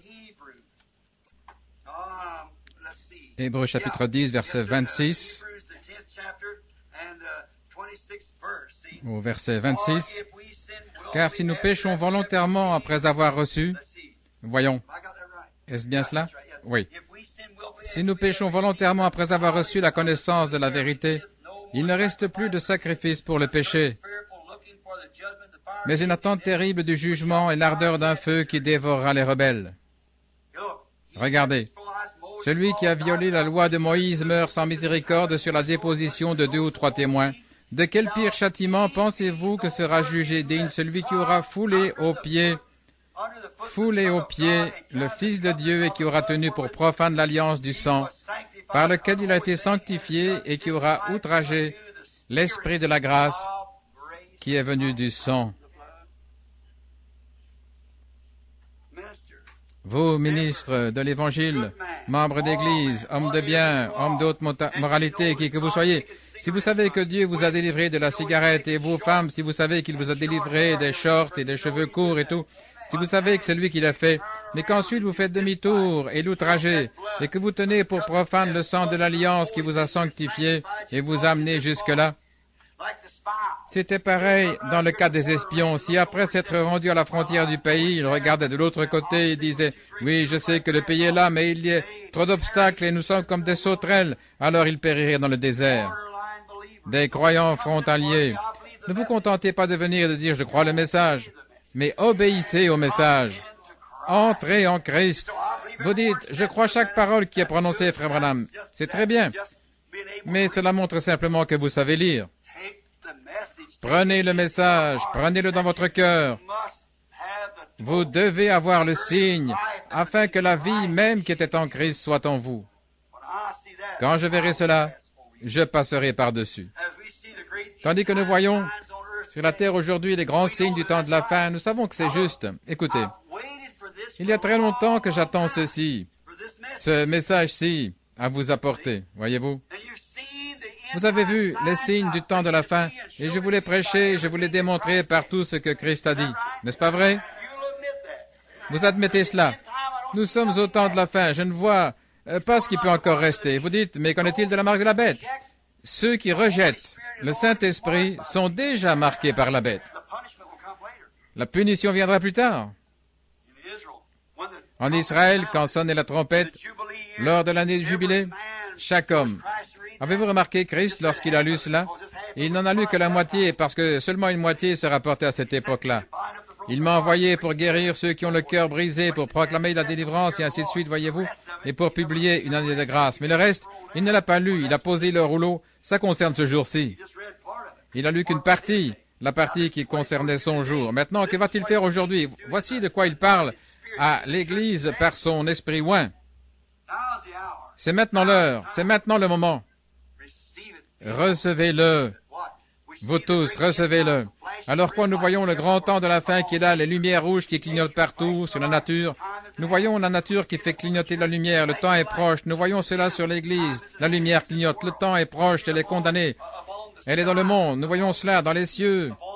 sur la mer, sur les nations, partout, dans le soleil, la, lune, les étoiles, des signes.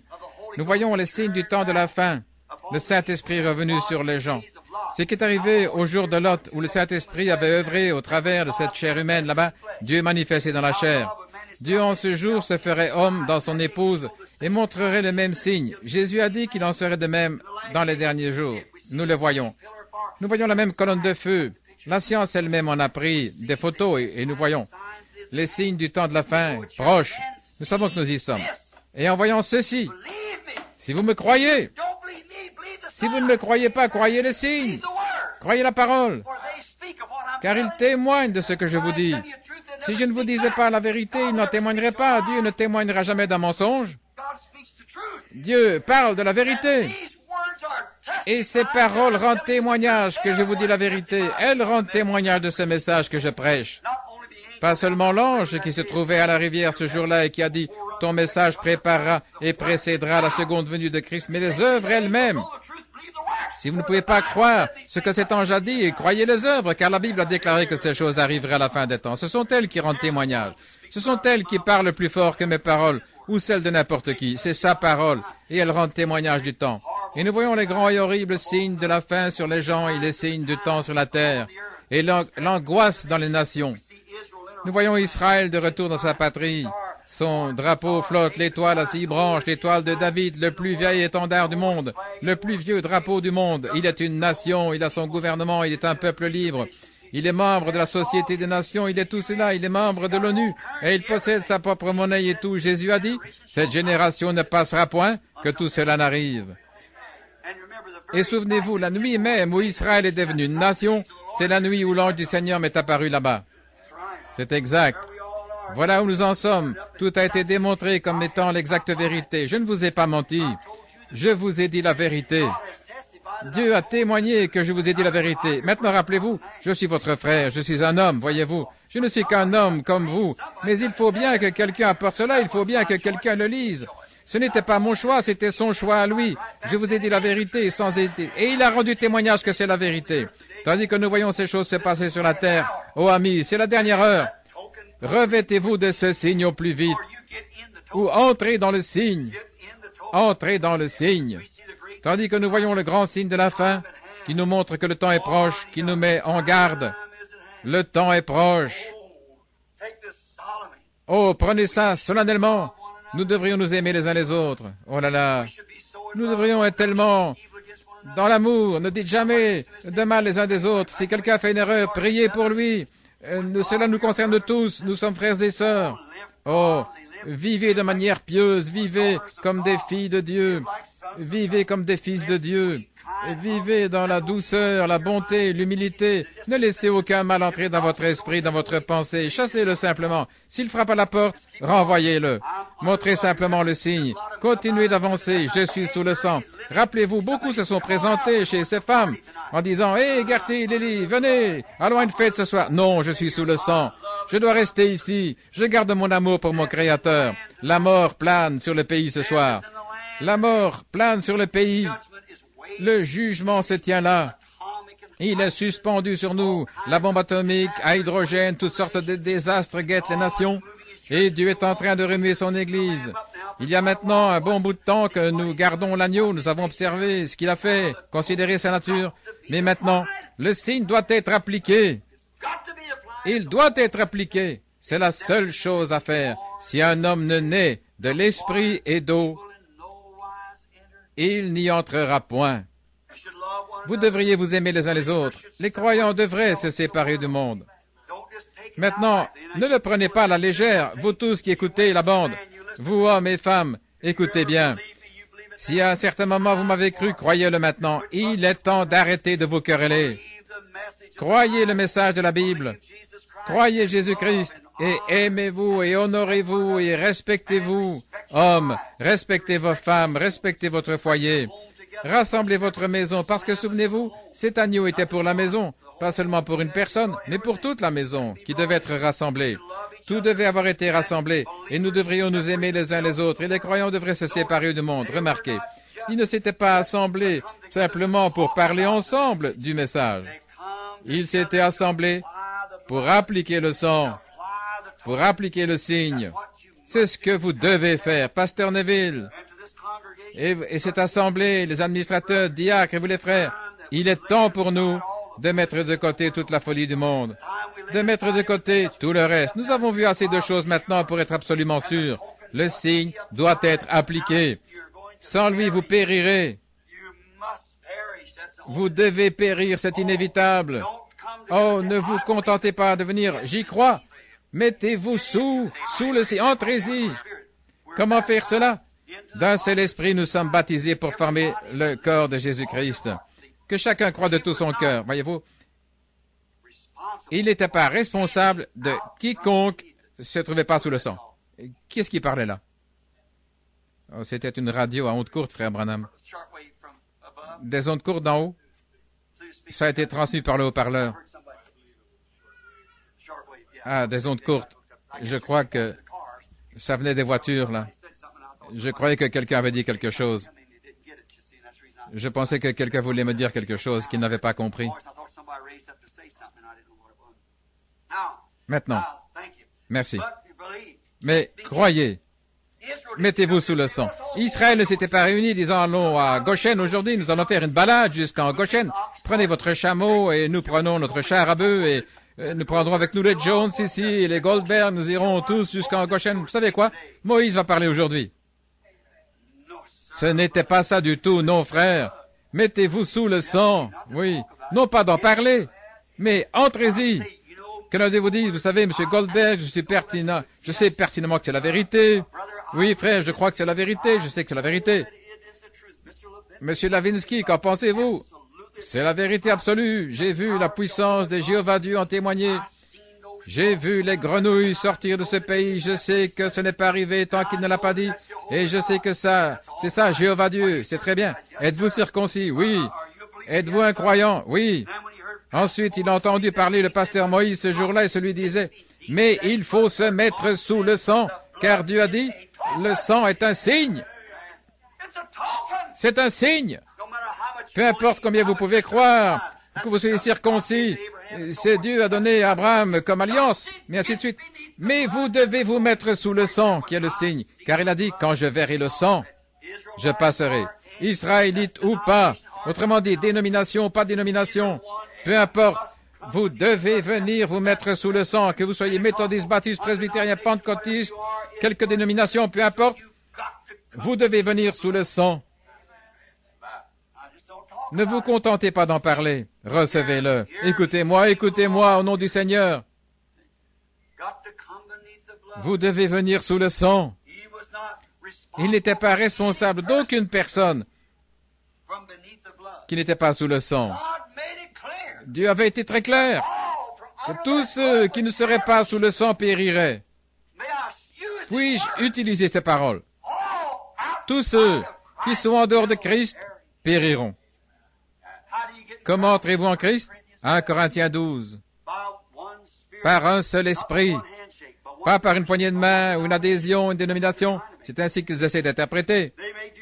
Ils peuvent faire cela.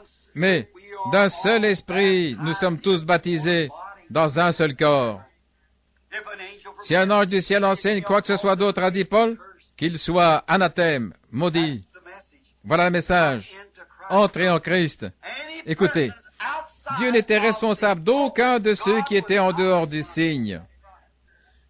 Et Dieu n'est responsable de personne, grand ou petit, populaire ou impopulaire, riche ou pauvre, esclave ou libre, homme ou femme, il n'est responsable de personne qui ne se trouve pas sous l'alliance du signe. Il n'en est pas responsable. Vous dites, Oh Seigneur, j'ai fait ceci, j'ai chassé des démons, Seigneur, j'ai fait ceci, j'ai prêché l'évangile. Retirez-vous de moi, vous qui commettez l'iniquité. Je ne vous ai jamais connu. Il ne reconnaît que le signe. Entendez-vous bien, dites Amen. Ainsi c'est à vous. Maintenant, j'étais dans les bois l'autre jour et les frères se demandaient, ils m'ont dit, nous sommes là depuis deux jours, je n'avais même pas tiré un écureuil. Ils disaient, qu'est-ce qu'il y a, voyez-vous? Qu'est-ce que c'est? Il m'a dit, envoie la balle dans leur camp. C'est entre leurs mains. Tu m'en as parlé, voyez-vous. Maintenant, c'est entre vos mains.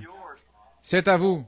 Il ne reconnaîtra rien d'autre que cette alliance du Saint-Esprit, et vous ne pouvez pas recevoir cette alliance à moins que vous soyez sauvés, sanctifiés et baptisés dans le corps. Vous pouvez avoir une imitation, vous pouvez éprouver un sentiment de bien-être, sauter, parler en langue et danser dans l'esprit. Ça n'a rien à voir avec ça. Écoutez, au nom du Seigneur. Dieu ne reconnaît pas ça. Les païens en font autant. Les sorciers en font autant. Vous dites, je suis un érudit, je fais ceci, ça et autre chose. Qu'est-ce que ça peut bien faire que vous soyez un érudit? Le diable aussi en est un, voyez-vous. Il ne reconnaît rien d'autre que le signe. C'est le message de l'heure. C'est le message de ce jour. C'est le message de ce temps. Au nom de Jésus-Christ, recevez-le. Pas un substitut, quelque chose que le diable peut mettre sur vous. Il vous donnera par exemple un faux amour, il fera qu'un homme se mette à aimer une autre femme que la sienne, ou qu'une femme se mette à aimer quelqu'un d'autre que son mari, quelque chose de déshonorant comme cela. Ce n'est pas du véritable amour. Ça, c'est le diable, ce sont ses œuvres. C'est quelque chose qu'il a essayé de vous passer à la place. Il vous donnera une joie, un sentiment de bien-être qui vous procurera le fait de boire. Vous direz, j'ai le cafard, aller me chercher un litre d'alcool pour oublier ça. Ça, c'est la mort. Dieu est votre joie, il est votre force. Connaître le message, connaître la vérité. Cela nous suffit. Il est tout ce qu'il me faut. En lui, j'ai tout ce dont j'ai besoin. En lui. Voilà notre force. Le secours me vient de l'Éternel. Vous les chrétiens, cherchez en lui votre joie, puisez en lui votre force, cherchez en lui votre bonheur. Il est ma paix, il est ma joie, il est mon amour, il est ma vie. C'est une alliance, le signe sur la porte. Il n'est pas responsable d'une seule personne, même pas une, qui que vous soyez. Il n'est pas responsable si vous n'êtes pas dessous. Et souvenez-vous, toute la famille était rassemblée. Oh là là. Souvenez-vous. Vous dites, mais mon papa est prédicateur, mon frère, mon pasteur, mon... Euh, oui, c'est peut-être vrai, mais qu'en est-il de vous? Rappelez-vous, il n'était en sécurité que lorsque le signe était manifesté, visible. Si quelqu'un était ici en dessous et que son fils soit de l'autre côté de la rue, celui-ci était en danger, il périrait. Son papa, lui, c'est en sécurité. Mais si c'était le fils qui était ici et que son papa se trouve là-bas, c'est le papa qui périrait. Seulement le signe, quand je verrai le signe, je passerai par-dessus. Rien d'autre que cela. Vous dites, oh, mon fils est prédicateur. Vous, les mères, vous dites, j'ai le meilleur des fils, la meilleure des filles. C'est moi qui vous le dis. Il n'y a pas de plus gentil. Ils ont été remplis du Saint-Esprit. Il y en a eu un tel amour. Mais qu'en est-il de vous, maman? Vous dites, ma mère est gentille comme tout, je sais que si elle meurt, elle ira au ciel, parce qu'elle possède vraiment le signe frère Branham. Mais qu'en est-il de vous, sœur? Toute la famille doit être amenée dessous. Êtes-vous fatigué Oh, je pourrais terminer maintenant et reprendre ce soir. Mais si vous voulez bien attendre encore un petit peu, j'essaierai de me dépêcher. J'aimerais dire certaines choses là maintenant, et je pense qu'il est préférable de donner tout de suite tandis que vous êtes sous cette onction. Seulement quand le signe est déployé. Et puis toute la famille doit se trouver sous ce signe, ce sang. Papa, maman, je sais ce que vous ressentez, j'ai moi-même des enfants. Je tiens à les voir sauvés. Je parle pour moi aujourd'hui. Voyez-vous, j'ai des frères, j'ai une sœur, j'ai des bien-aimés. Je veux les voir sauvés aussi. Mais rappelez-vous que si le signe n'est pas déployé, ils périront. Il n'y aura pas de résurrection pour eux. Ils sont perdus. Ce n'est que lorsque le signe est déployé. Regardez Josué. J'aimerais avoir le temps de le lire. Notez-le. Josué, chapitre 2. Le cas de la prostituée Rahab, la croyante non juive. Oh, comme j'aimerais qu'il ne soit que neuf heures. J'aimerais prendre cela et vous montrer ce qu'il en était, voyez-vous cette prostituée, une païenne. Regardez bien. Toute sa famille, elle était une croyante. Toute sa famille devait se réunir sous ce fil cramoisi, le signe. Ils devaient se placer dessous, sinon ils périraient. Ils avaient entendu parler de la colère de Dieu. Ils avaient entendu parler des signes et des miracles que Dieu avait manifestés au milieu de son peuple. Et ils devaient recevoir cela. Elles devaient recevoir cela. l'ange destructeur de Dieu allait venir. Ils le savaient. Et Josué était cet ange. Ils étaient en ligne. Et toutes les nations de ce monde sont en ligne pour recevoir le jugement de Dieu. Cette petite prostituée en avait entendu parler. La foi vient de ce qu'on entend. Elle a dit, tous les pays tremblent devant vous. C'est juste. Maintenant, les espions qui avaient été envoyés pour faire des arrangements, et ainsi de suite, elle a honoré ces hommes. Elle voulait être sauvée. Elle a dit, je sais que votre Dieu est Dieu. Et j'ai entendu parler des grandes choses qu'il a faites. Je sais ce qu'il a fait à Og, je sais ce qu'il a fait à différentes nations. Et je vois que ceux qui l'acceptent sont sauvés et que ceux qui ne l'acceptent pas sont détruits. Et je veux vivre. Voilà là. Vas-y, voilà. Je veux vivre.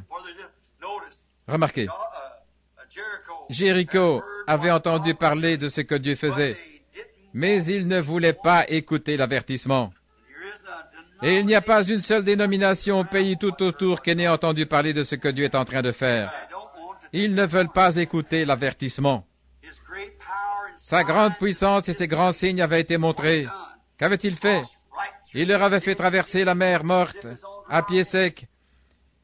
Il avait créé différentes choses, fait apparaître dans les airs des grenouilles, des poux, des mouches. Il les avait créées par sa parole, par l'entremise de son prophète. Ce n'était un secret pour personne. Il connaissait ces choses. Et Rahab a dit, j'ai entendu parler de ça. Je ne veux pas périr avec ces incrédules. Non. Elle savait que le jugement allait suivre. Il était inévitable. Il venait droit sur eux, elle le savait. Ils lui ont donc donné le moyen d'échapper. Ils s'étaient probablement imaginé que leur grande dénomination de Jéricho pourrait résister à la colère de Dieu, voyez-vous.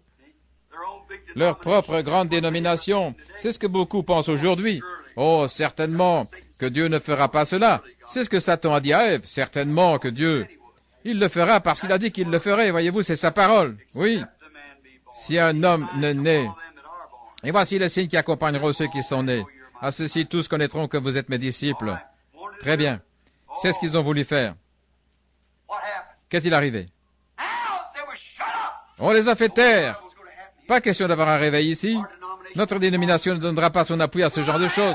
Nous ne permettrons pas ce genre de bêtises au milieu de nous. Je vous interdis à tous d'aller à cette réunion. Voilà, Jéricho. Bien en ligne, là, vers la damnation. Mais il devait y avoir euh, des, frères avec des bandes magnétiques, là, qui ont réussi à s'infiltrer pour les semences prédestinées. Ils ont fait un saut jusque chez elle et ont joué quelques bandes. Elle a fait de sa maison une église destinée à recevoir le message. Il y en a encore aujourd'hui. Le message est parvenu aux semences prédestinées de toute manière. Nous ne savons pas comment il y est arrivé, mais il est arrivé là. Afin que les justes ne périssent point avec les injustes. Et Dieu veille à cela aujourd'hui. D'une manière ou l'autre, le message s'infiltre. Nous ne savons pas comment, bien qu'ils refusent d'y donner leur appui, mais il y a des semences là, au dehors, qui sont prédestinées. Quiconque a la moindre connaissance de la Bible sait que cette prostituée était prédestinée. Certainement. La Bible dit, elle ne périt pas avec ceux qui n'ont pas cru. C'est exact. Mais elle a cru le message de l'heure. Et Dieu lui a donné un signe par ses messagers. Prends un cordon de fil rouge et attache-le. Là, souviens-toi. Si tu n'attaches pas ce cordon-là, ou si tu ne le laisses pas là, à l'endroit, nous ne sommes pas responsables. dit, si tu n'es pas dessous, nous ne serons pas responsables. Oh là là. Rab, chaque semence prédestinée qui se trouve ici, va les chercher. Va chercher ton papa, ta maman, car nous venons juste de sortir d'Égypte. Sous cette expiation et tout ce que nous n'avons pu mettre sous ce signe a. Rab, je te donne un signe. C'est un signe. Et je dis au nom du Seigneur, je vous le dis, je connais l'ange de colère, Josué. Il est le messager de Dieu qui apportera la destruction. Je le connais. Et il sait qu'il doit y avoir quelque chose comme signe. Accroche cela là et je peux t'assurer, j'en fais le serment. Et Dieu aussi a prêté serment, déclarant que ceux qui ne seraient pas sous le signe périraient et que tous ceux qui seraient dessous vivraient. Le même serment tient aujourd'hui, la même chose. Je ne vous laisserai pas périr avec ceux qui ne croient pas le message. Elle avait entendu parler des œuvres qui avaient été accomplies et elle l'a cru. Elle et son père et deux ou trois de ses frères ou quelque chose comme ça sont les seuls qui ont cru dans toute la ville. Voyez-vous combien il y en a peu? Seulement ici, un et là, une petite famille sortira d'un état Est-ce juste? C'est tout à fait juste. Nous laissons parler les faits. Si vous voulez voir l'antitype, il vous faut d'abord voir le type premièrement. Il faut que vous voyez l'ombre, ensuite vous savez à quoi ressemblera la chose réelle. Sa puissance avait été montrée, le jugement était imminent, il fallait qu'il croie pour être sauvé. Oui. Et ces jeunes gens sont entrés, ces messagers, et ont attrapé la semence prédestinée, ceux qui croyaient. Elle s'est servie de sa maison comme église pour recevoir ces messagers. On ne les aurait pas laissés entrer dans les églises, non, monsieur, voyez-vous. Ils ne vous laisseront pas entrer non plus. Ils vous chassent dès que vous dites quoi que ce soit. Ils ont fait entrer sous le signe tous ceux de sa ville qui ont voulu croire. C'est exactement ce qu'il nous faut faire aujourd'hui. Si vous voulez que quelqu'un parmi vos bien-aimés soit sauvé, vous feriez bien de les faire entrer tout de suite. Quand la colère de Dieu a détruit cette grande ville, le signe a protégé sa maison. Amen. Qu'était-ce? Le signe était, ou plutôt le signe était sur sa maison. Tandis que le reste de la ville a été complètement rasé. Qu'était-ce? Qu'était-ce? Josué, le messager de Dieu. Dieu lui-même a reconnu le message de son messager. Amen. Ça l'a prouvé. Ça l'a prouvé. Ils ont reconnu le message. Il a reconnu le message de son messager.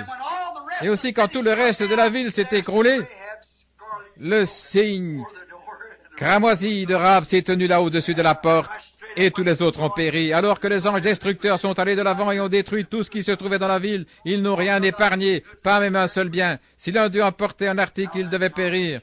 En sortant de cette dénomination, ils se sont emparés de tout et ont tout détruit.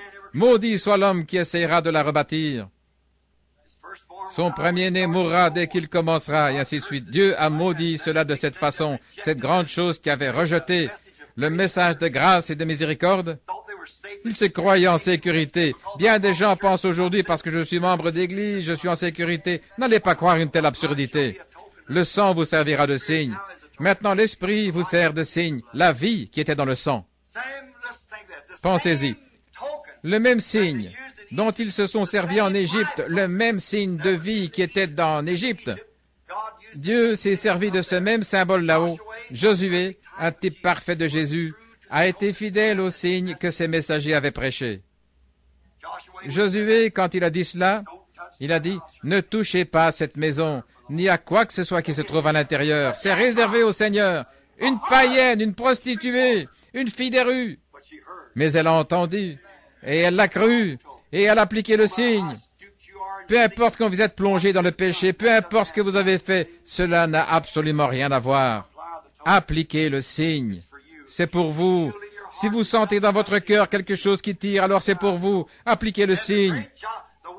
Le mot Josué veut dire Jéhovah sauveur. Et Jésus aussi veut dire un sauveur. Et Josué, quand il s'est enquis auprès de ses messagers, ses messagers sont revenus et ont dit, j'ai obéi à tes ordres.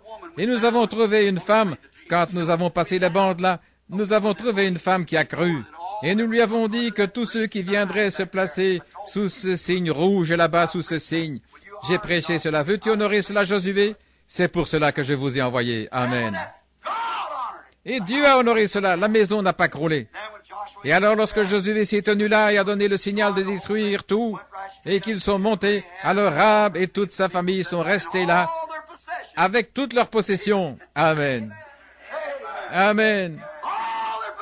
Toutes leurs possessions étaient en sécurité dans la maison.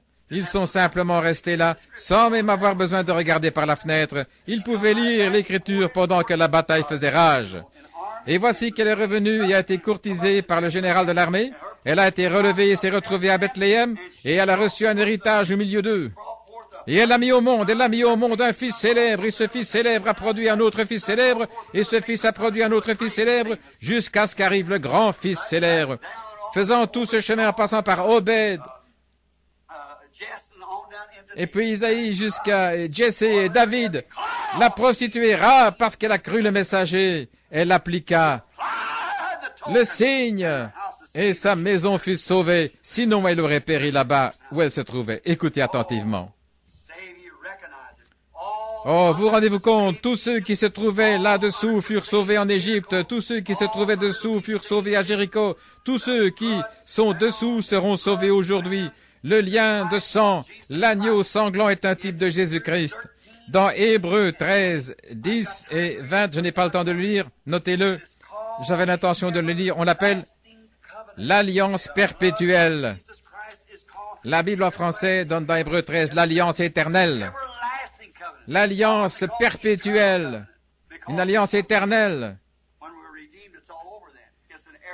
Parce que lorsque nous serons rachetés, elle sera alors terminée, elle dure à perpétuité. Ça veut dire qu'il n'y en aura plus une autre. Quand il n'y aura plus de temps, nous n'aurons plus besoin d'alliance. Mais jusqu'à ce que le temps arrive à sa fin, nous avons besoin de l'alliance. Hébreu 13, 10 à 20, une alliance perpétuelle. La promesse de Dieu, scellée par le sang, nous affranchit du péché. Amen. Il n'y a aucun péché en lui. Le péché, le moi, la chair, adorez-le et manifestez sa puissance promise.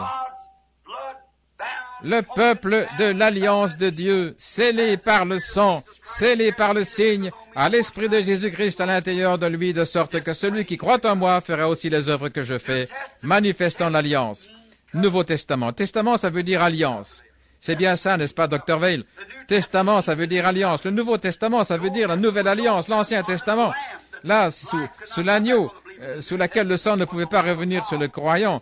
Pour le Nouveau Testament, c'était l'agneau de Dieu, et sa vie revient sur nous. Le sang est vie, voyez-vous. Dans le Nouveau Testament, le sang est la vie. La vie provient du sang de l'agneau. Voilà le sens du Nouveau Testament de la Nouvelle Alliance. Ce jour-là, j'écrirai mes lois sur les tables de chair de leur cœur. Voyez-vous, non pas sur les tables de pierre, mais avec du sang d'un agneau. Ce qui vous faisait dire, bon, j'ai apporté le sang ici, maintenant qu'est-ce que ça dit ensuite? Mais sur les tables de votre cœur, voyez-vous, c'est ici l'alliance de l'Esprit que je ferai avec le peuple. Et cela manifeste sa puissance. Dans Jean 14, 12, il est dit, celui qui croit en moi fera aussi les œuvres que je fais. Nouveau Testament signifie une nouvelle alliance, nouvelle vie, ce qui montre que Jésus a satisfait pour nous à chacune des exigences que Dieu avait posées, afin que de nous ramener, nous, véritablement des fils et filles de Dieu, sous le sang, là où il n'y a plus aucune condamnation. Romains 8.1, il n'y a donc maintenant aucune condamnation pour ceux qui sont en, non pas ceux qui croient, mais ceux qui sont en Jésus-Christ qui marche non pas selon la chair, mais selon l'esprit. Et ma parole est esprit et vie. Oh, comme je pourrais tirer un texte de là et rester encore deux ou trois heures de plus. Nous allons regarder ça rapidement maintenant. Plus aucune condamnation, libre du péché, libre des soucis du monde. Aucune condamnation. Comment cela? Pour ceux qui ont été baptisés d'un seul esprit, pour former un seul corps, là le sang de l'agneau a été appliqué, le Dieu du ciel vous a accepté. Sa vie est en vous et vous êtes fils et filles de Dieu. Votre caractère est le caractère de Dieu. Qu'est-ce que c'est? Que vous êtes instable? Non. Quelqu'un qui accepte n'importe quoi Non, monsieur. Dieu est un Dieu de jugement, il est un Dieu de correction, il faut marcher droit, rien de moins. Et c'est ce genre de personne que vous êtes parce que vous avez le caractère de votre Père. Regardez. La vie est enlevée pour le sang. Voyez-vous, la vie elle-même est enlevée. Voyez-vous, il fallait, il fallait prendre la vie pour avoir le sang. Le sang était appliqué et la vie ne pouvait pas revenir sur le croyant à ce moment-là, car c'était la vie d'un animal, voyez-vous. Mais au lieu d'un être humain, c'était un super, super, super être humain, voyez-vous. Et cela fait que l'être humain maintenant, non pas simplement un être humain, mais il est maintenant un fils, une fille de Dieu, de cette super, super, super vie qui se trouvait en lui et qui revient sur vous, vous transformant d'un pécheur dans les choses du monde, d'un membre d'église, dénomination, en un chrétien né de nouveau, rempli de l'esprit. Et la vie de Dieu est là qui jaillit de vous comme les étincelles d'une enclume, tandis que vous marchez rempli de vertu, d'amour, de douceur, tandis que le Saint-Esprit agit et parle. Oh là là. En écoutant ce message, en gardant les yeux sur la colonne de feu et avec l'assurance bénie, je suis passé de la mort à la vie. Donc maintenant, aucune condamnation du tout. Si notre cœur ne nous condamne pas, alors nous possédons la chose que nous lui avons demandée. Nous le savons. Mais s'il y a du péché dans notre cœur, alors cela nous condamne. Nous ferions tout aussi bien de ne pas commencer du tout. Voyez-vous, vous devez vous libérer du péché. Et la seule façon de vous libérer du péché, c'est d'entrer en lui. il n'y a rien d'autre qui puisse couvrir le péché. Rappelez-vous, le sang de l'alliance n'est pas reconnu sans le signe. Euh, vous ne le pouvez pas, vous n'y arriverez pas. Vous dites, mais j'ai été sanctifié, je ne fais plus certaines choses. Ce n'est pas le signe, c'est l'Esprit qui est le signe. L'Esprit de Christ sur vous. Croyez-le. Maintenant, regardez. La parole nous assure de la promesse. Tous ces points que j'ai notés ici pourraient servir de texte. Je pourrais simplement continuer à prêcher toute la journée. La parole nous assure la promesse parce qu'elle est la promesse. La parole est la promesse et la parole est Dieu et la parole est à nous et nous devenons la parole et la parole devient nous. Et si vous demeurez en moi et que ma parole demeure en vous, voyez-vous, tout cela devient simplement une grande famille. Ça nous donne l'assurance. Pourquoi? Parce qu'elle est une partie de nous. Voyez-vous, elle devient une partie de nous. Quel sujet Très bien. Donc, elle nous garantit la promesse. Le signe indique que l'acquisition a été faite et acceptée. Or, vous ne pouvez pas obtenir votre jeton pour les chemins de fer avant d'avoir payé le prix. Il n'y a qu'un seul moyen d'en payer le prix, c'est de le payer. C'est juste. Quoi donc? Y croire, l'accepter? La pleine obéissance à toute la parole de Dieu vous donnera le droit au signe. Une pleine obéissance, pas en partie, aussi loin qu'ira votre dénomination, mais en entier. La pleine obéissance à la parole qui est Christ vous amène en Christ. Qu'en serait-il si vous étiez complètement dedans, mais que vos pieds pendent dehors? Qu'en serait-il si vous étiez complètement dedans, mais que les mains pendent dehors? Voyez-vous?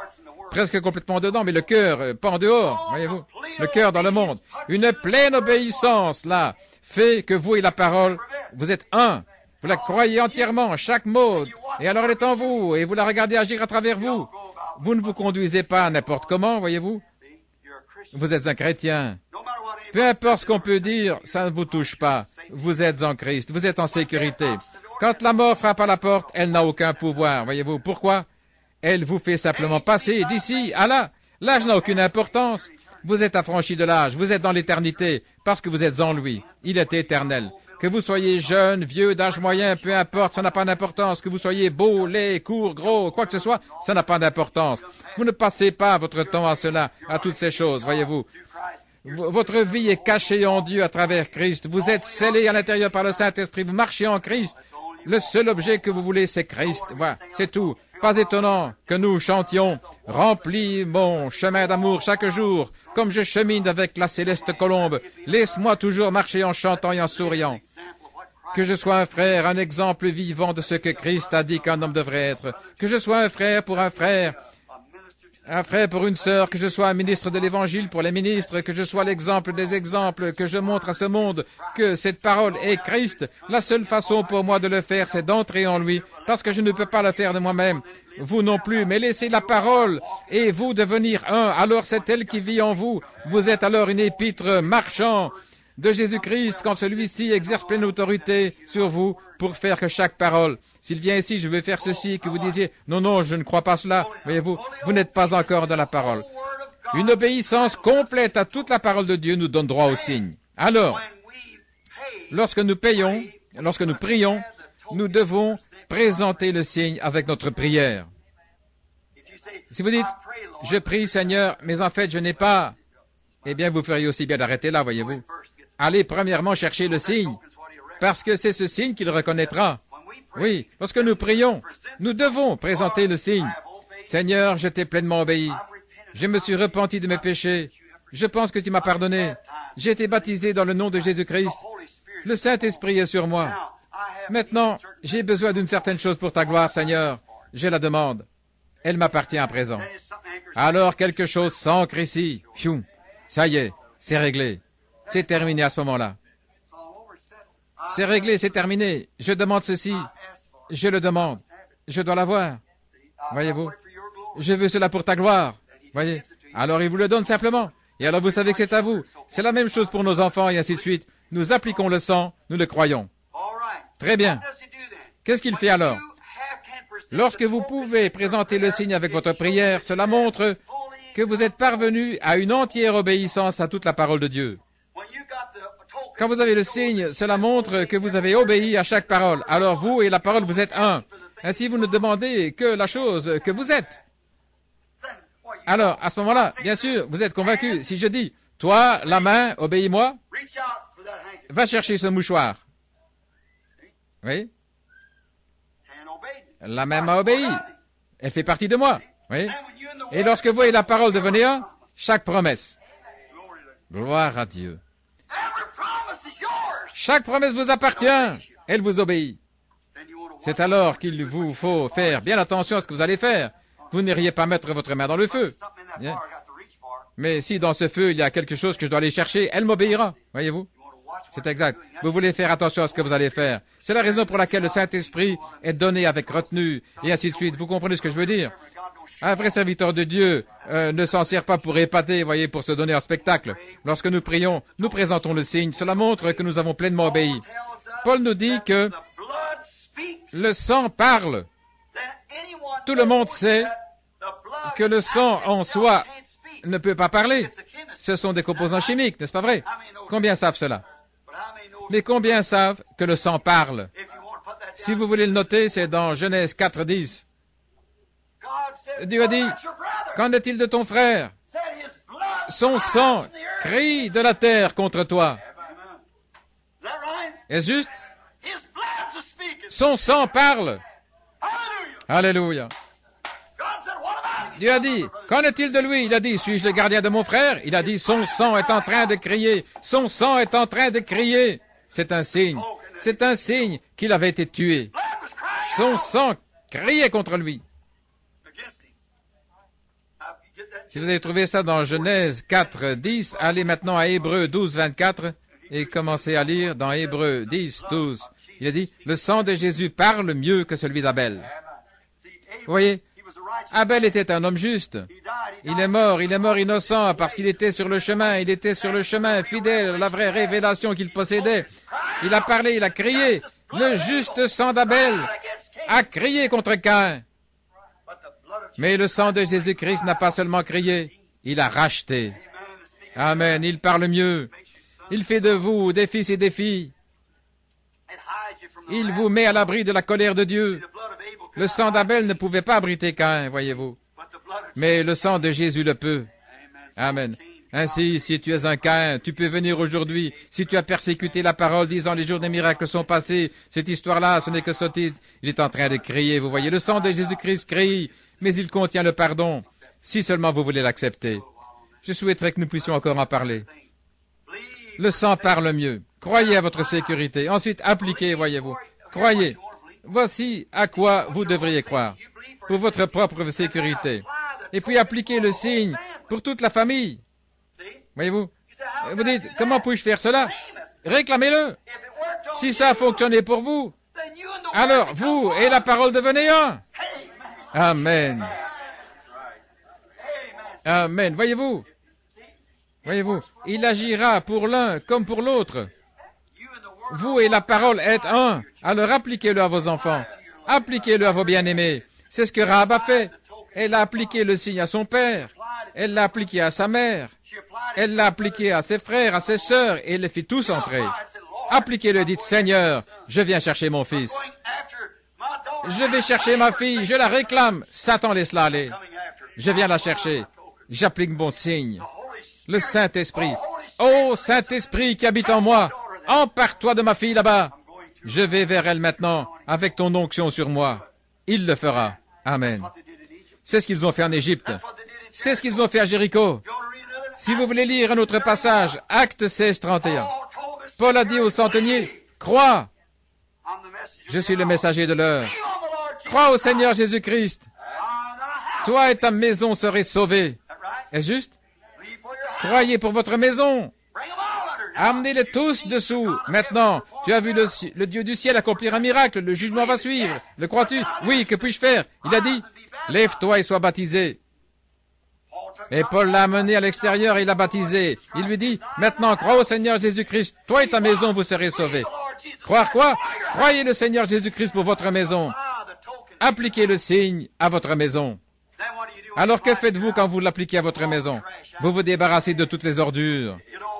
Vous prenez toutes les jupes courtes, les shorts, les cartes, les cigarettes, les appareils de télévision et quoi encore, et vous jetez tout ça dehors quand vous décidez d'appliquer le signe. Il ne peut pas supporter cela, oui. Faites sortir tout ça, toutes les soirées de danse, les fêtes rock'n'roll, ces vieux journaux vulgaires et toutes ces choses du monde. Mettez ça dehors.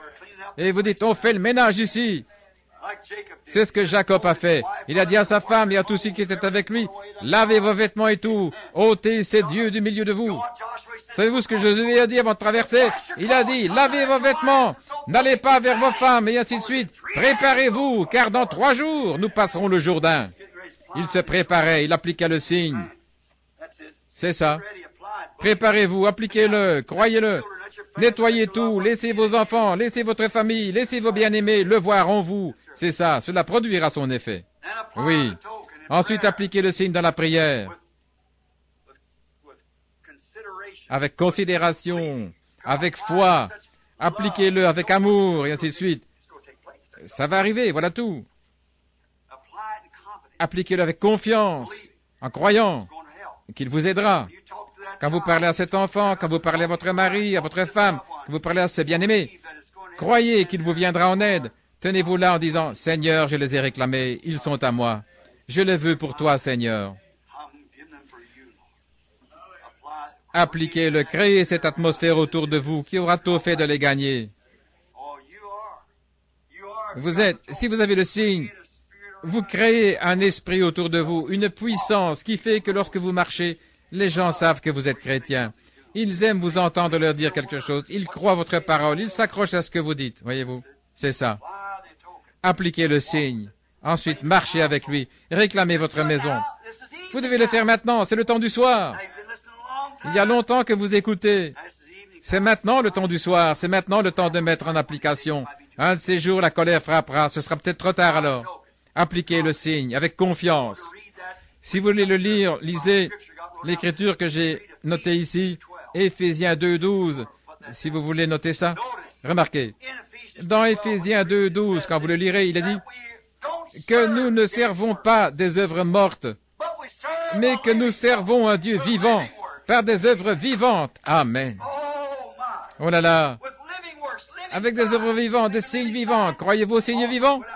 Notez aussi Hébreux 9, 11 à 14, si vous voulez noter des signes vivants des œuvres vivantes. Appliquez cela. Non pas des crédits mort. Je vais emmener mon garçon à l'église et voir euh, qu'il adhère à l'église. Un brave garçon chrétien ici, un, un bon ami, un vieux copain, un brave garçon. Il est venu ici, il a été baptisé. Sa mère a dit, j'aurais préféré que tu ailles dans une plus grande église pour te faire baptiser, voyez-vous. Voyez-vous? C'est qu'il ne voulait pas de ces vieux credos morts et tout. Nous ne servons pas des credos morts ou des dieux morts. Nous servons un Dieu vivant, dont le sang a été répandu là-bas et le signe a été appliqué sur nous de sorte que nous aussi nous vivons. Oui, ne servez pas des credos morts. Ils vont même jusqu'à nier les choses comme le signe. Ils disent, les jours des miracles sont passés, le baptême du Saint-Esprit, ça n'existe pas. Pourquoi adhérer à quelque chose comme ça, voyez-vous? Ne faites pas ça. Appliquez le signe et servez le Dieu vivant pour avoir des œuvres vivantes, des signes vivants, des signes qui guérissent les malades, qui ressuscitent la mort, qui prédisent les choses, qui parlent en langue, qui interprètent chaque fois d'une façon parfaite, qui prophétisent disant que telle et telle chose arrivera, qui font paraître des signes en haut dans le ciel et sur la terre, des signes et des prodiges. Amen. Déclarant exactement ce que la Bible a dit qui arriverait. Servez le Dieu vivant. Appliquez le signe. N'allez pas dans ces églises vous joindre à ces vieilles œuvres mortes et aux choses semblables, parce qu'ils ne croient même pas à ça, au signe. Mais nous qui croyons, Amen. Ils disent, un signe, ça n'existe pas. Ça, Oh, c'est une absurdité. Ce qu'ils disent là-haut, c'est fou. Euh, tout ça, ça n'existe pas. Vous, les femmes, voyez, euh, vous n'allez pas. Euh, qu'est-ce que la manière de s'habiller, ça a à voir Voyez-vous? Mais ça a quelque chose à voir. La Bible dit. Et les cheveux, c'est ça la différence, voyez-vous? Ne prends pas, ne touche pas, ne goûte pas. Il est Dieu, voyez-vous. Ça signifie quelque chose. Ils pensent que c'est fou. Mais pour nous qui croyons et qui connaissons la vérité, nous savons qu'il s'agit de sa présence vivante, car elle fait les mêmes choses qu'il a faites lorsqu'il était sur la terre. Oh, disent-ils, ils ne font que s'imaginer voir cette colonne de feu. Oh non, oh non, nous ne nous imaginons pas. Ils pensaient que Paul s'était imaginé aussi. L'Égypte pensait qu'Israël s'imaginait, mais elle les a conduits à la terre promise. Oui. Hébreu 13, 8, vous savez, Jésus-Christ, le même hier, aujourd'hui et pour toujours. Si vous notez cela, voyez-vous, ce n'est pas de l'imagination. Quand j'inscris ces écritures que je note ici, je sais où se trouvent ces écritures, c'est ainsi que je peux les retrouver. Regardez. C'est sa présence vivante, car il fait la même chose dans cet esprit. S'il prenait la direction de quelques credo dénominations, nous pourrions tout de suite savoir s'il s'agissait pas là de Christ, n'est-ce pas?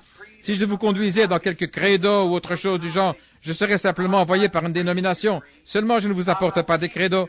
Je ne vous enseigne pas les dénominations.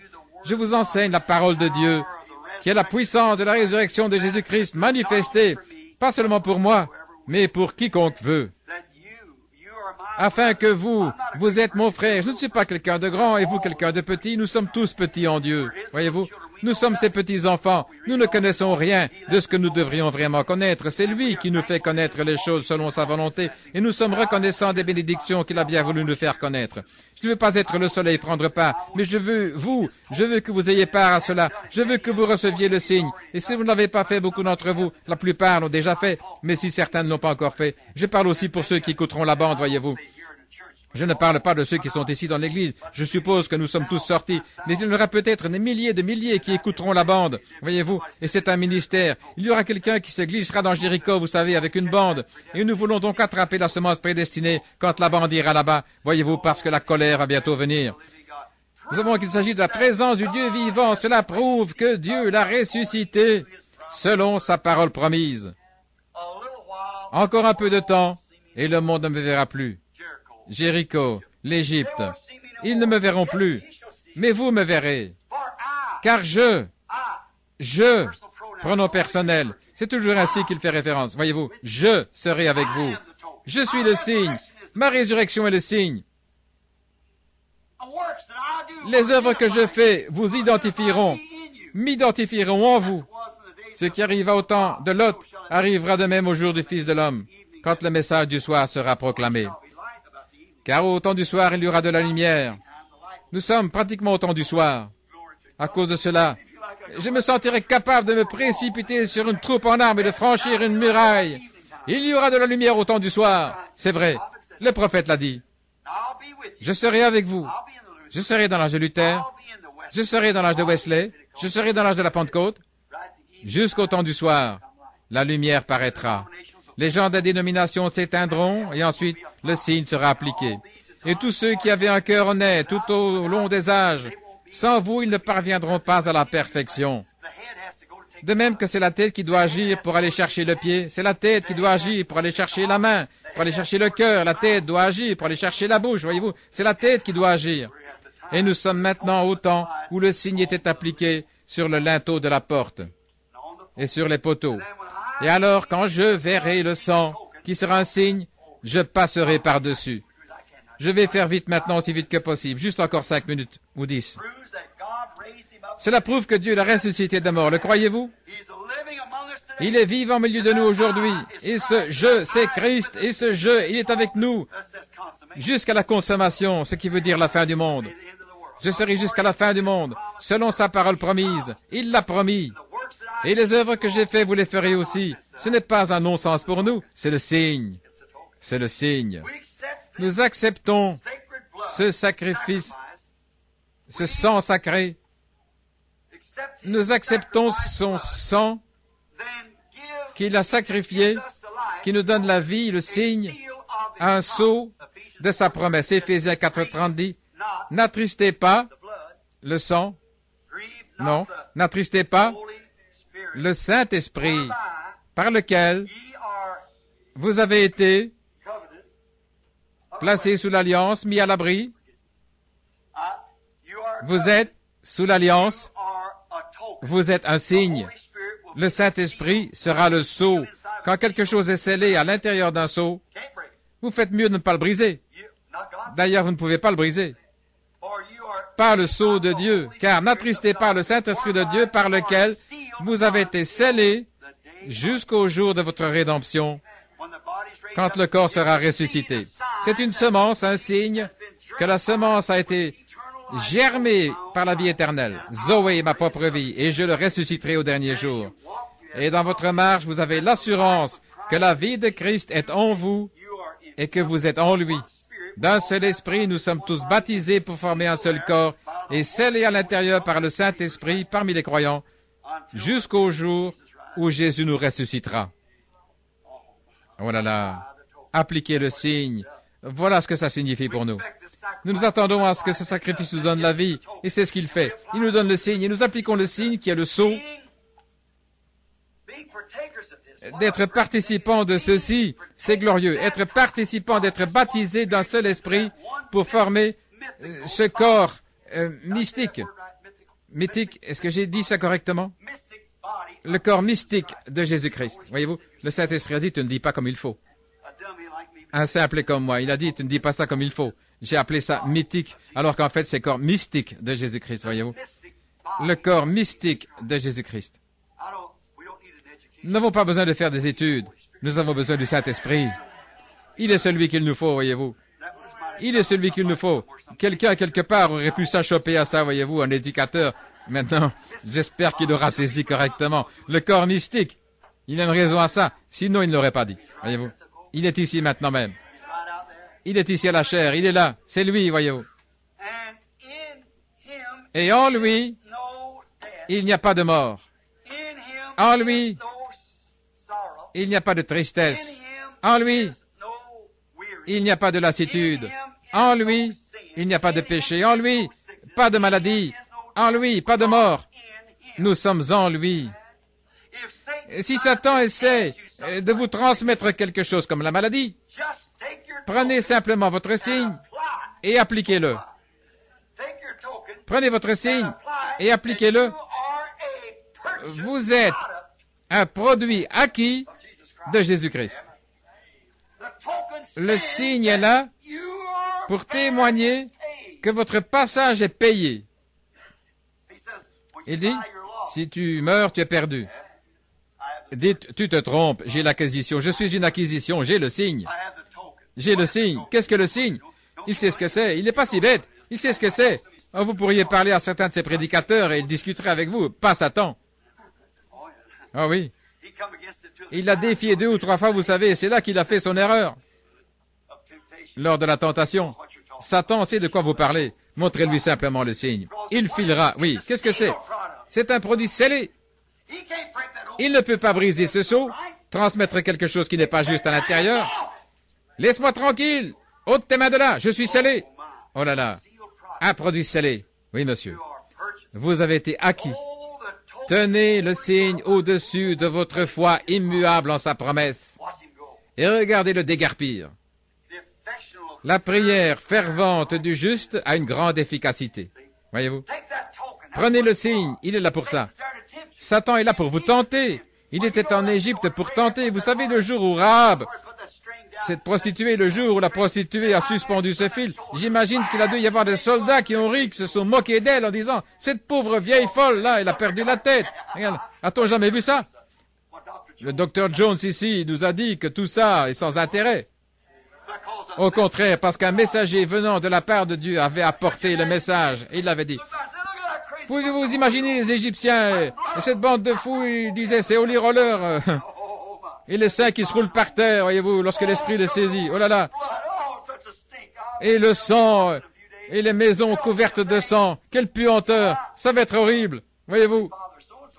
Parce que le Saint-Père, un tel l'a dit. Mais au contraire, oui, ça avait du sens. Cela a un sens pour nous qui croyons.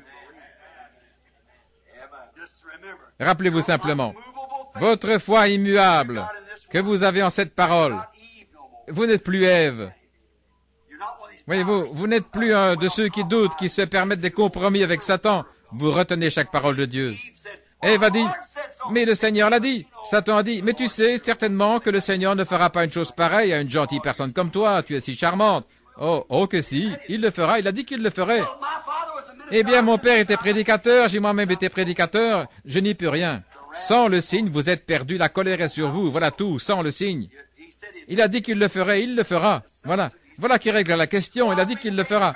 Je crois que les jours des miracles... Oui, mais sans lui, il a dit le contraire. Je suis le même, hier, aujourd'hui et pour toujours, voyez-vous. C'est exactement. Nous le savons. Eux qui ne croient pas, mais nous nous croyons. Nous savons que c'est la vérité. Maintenant, en étant à l'intérieur, nous devenons une partie de la parole. Alors prenez le signe, l'esprit et placez-le sur la promesse. Je suis l'Éternel qui te guérit. Alors préparez-vous pour le service de guérison ce soir. Voyez-vous Prenez le signe. Suspendez-le au-dessus de la parole. Sur votre foi immuable en cette parole, il sortira. C'est précisément ce qui le chasse. Parce qu'en lui, il n'y a rien de cela. Oh, comme je souhaiterais pouvoir témoigner un peu en ce moment des choses que j'ai vues se produire cette dernière semaine. Comme je pourrais témoigner. Vous savez, Luc a dit, si tout ce que Jésus a fait était inscrit, était inscrit dans des livres, il n'y aurait pas dans le monde entier assez de rouleaux pour écrire tout cela. Rien de ce que j'ai vu dans ma propre ministère, ce que je l'ai vu faire. Il n'y aurait pas assez de place sur cette estrade pour empiler tous les volumes. Dans mon propre ministère, voyez-vous ce que je, ce que je l'ai vu faire? Il a eu plus de succès dans mon ministère qu'il n'a eu dans le sien. Maintenant, n'oubliez pas, lui a eu plus de succès, pas moi, lui. Gloire, alléluia. Il a eu plus de succès à Jeffersonville qu'il n'en a eu à Nazareth. C'est vrai. Dans cette méchante ville-là et dans cette méchante ville ici. Amen. Gloire. Parce qu'il ne pouvait pas faire de miracle dans ce lieu, mais il en a fait ici. Il a fini par percer ici. Il est arrivé. Il a peut-être fallu qu'il aille chercher des gens de l'extérieur, mais il y est arrivé de toute manière. Ainsi, il a eu plus de succès ici même qu'il n'en a eu à Capernaum ou à Nazareth. Il a fait plus de miracles ici même dans ce tabernacle qu'il n'en a fait dans son ministère sur la terre. C'est vrai, c'est ce qu'il a fait. Alors, qu'en est-il du reste du monde? Oh là là. Maintenant, c'est lui qui l'a fait. Ne l'oubliez pas, c'est ce que lui a fait. Ce n'était pas moi. Je n'ai fait que l'aimer, me soumettre à lui et dire ce qu'il a dit. Et le Saint-Esprit est allé trouver les autres personnes et ils ont cru ce qu'il a dit. Et ensuite, c'est lui qui a fait le travail. Voilà tout. S'il peut nous amener tous à y croire, Qu'est-ce qu'il pourra faire tout de suite s'il pouvait nous amener à y croire à l'instant même? Il n'y aurait pas une seule personne malade dans la ville ici. S'il pouvait amener tout le monde à croire, tenez votre signe au-dessus de votre foi immuable dans sa parole promise et Satan s'en ira. Il faut vraiment que je termine maintenant. Jadis, Dieu a donné un autre signe au monde, un arc-en-ciel. Vous vous souvenez de ça? Il est toujours, toujours resté fidèle à ce signe-là parce qu'il l'avait donné comme signe. Pendant tous ces milliers d'années, jamais il n'a manqué de déployer ce signe. Est-ce correct? Pourquoi? Parce qu'il l'honore. Il l'a donné. Il a donné au monde un signe qu'il ne détruirait plus la terre par un déluge. Et depuis ce jour-là, il a toujours, toujours déployé. Il y a dans l'air certains éléments qui forment l'arc-en-ciel. C'est quand il pleut et que se montre le soleil que paraît l'arc-en-ciel. Le soleil assèche la pluie. Il a donc placé là l'arc-en-ciel pour prouver que jamais plus il ne tomberait sur la terre assez d'eau pour la détruire à nouveau. C'est un signe. Il a dit, je vous le donnerai comme signe. Il a honoré son signe. Il a honoré son signe au jour de Noé. Aujourd'hui encore, il le fait paraître. Il a honoré son signe en Égypte et à Jéricho. Il l'honore encore aujourd'hui il honore toujours son signe lorsqu'il est manifesté. Pendant tous ces milliers d'années, il a toujours pris plaisir à montrer ce signe. Il ne l'oublie jamais. Il n'oublie jamais ce signe. Peu importe combien le monde change, l'arc-en-ciel est toujours là. Il honore le signe. C'est la même chose maintenant. Il honore son signe. Peu importe combien l'Église change ce qu'elle peut faire, Dieu honore toujours son signe, et lui seul. Cela nous montre qu'il ne manque jamais d'honorer ce qu'il fait et ce qu'il dit.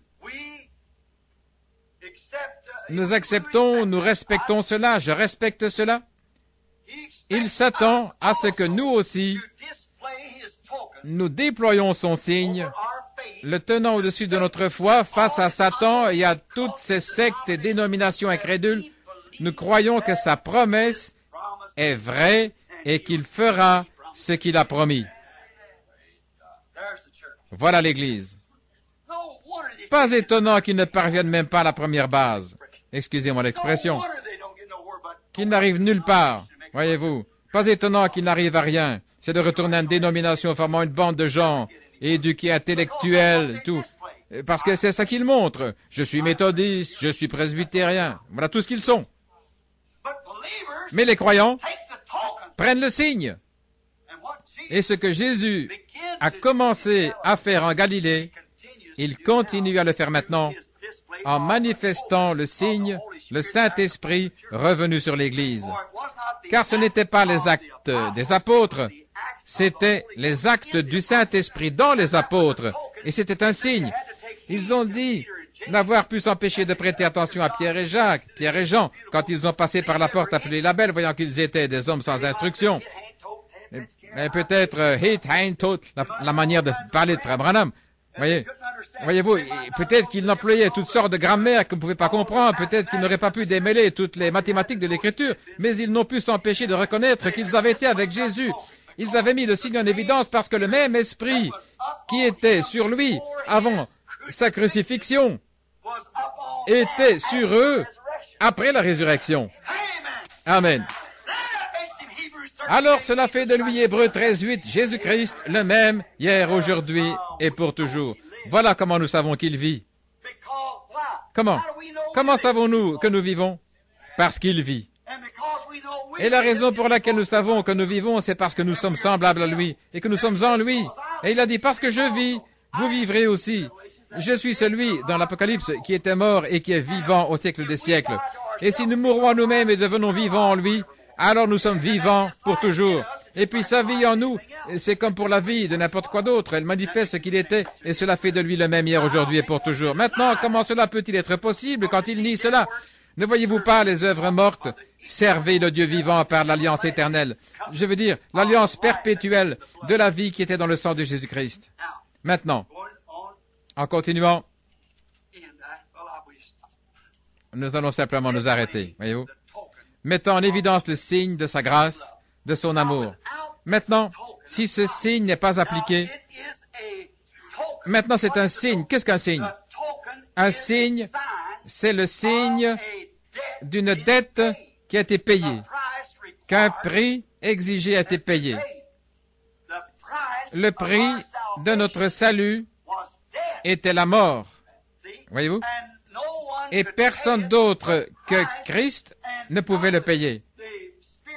Et non pas l'esprit d'une dénomination, non pas l'esprit d'un pape, non pas l'esprit d'un homme quelconque ou d'un saint, mais l'esprit de Jésus-Christ sur l'Église est un signe que la dette a été payée et qu'il a satisfait à toutes les exigences que Dieu avait posées et que nous et lui sommes un. Ce jour-là, vous connaîtrez que je suis dans le Père, que le Père est en moi, que je suis en vous et vous en moi appliquer le signe.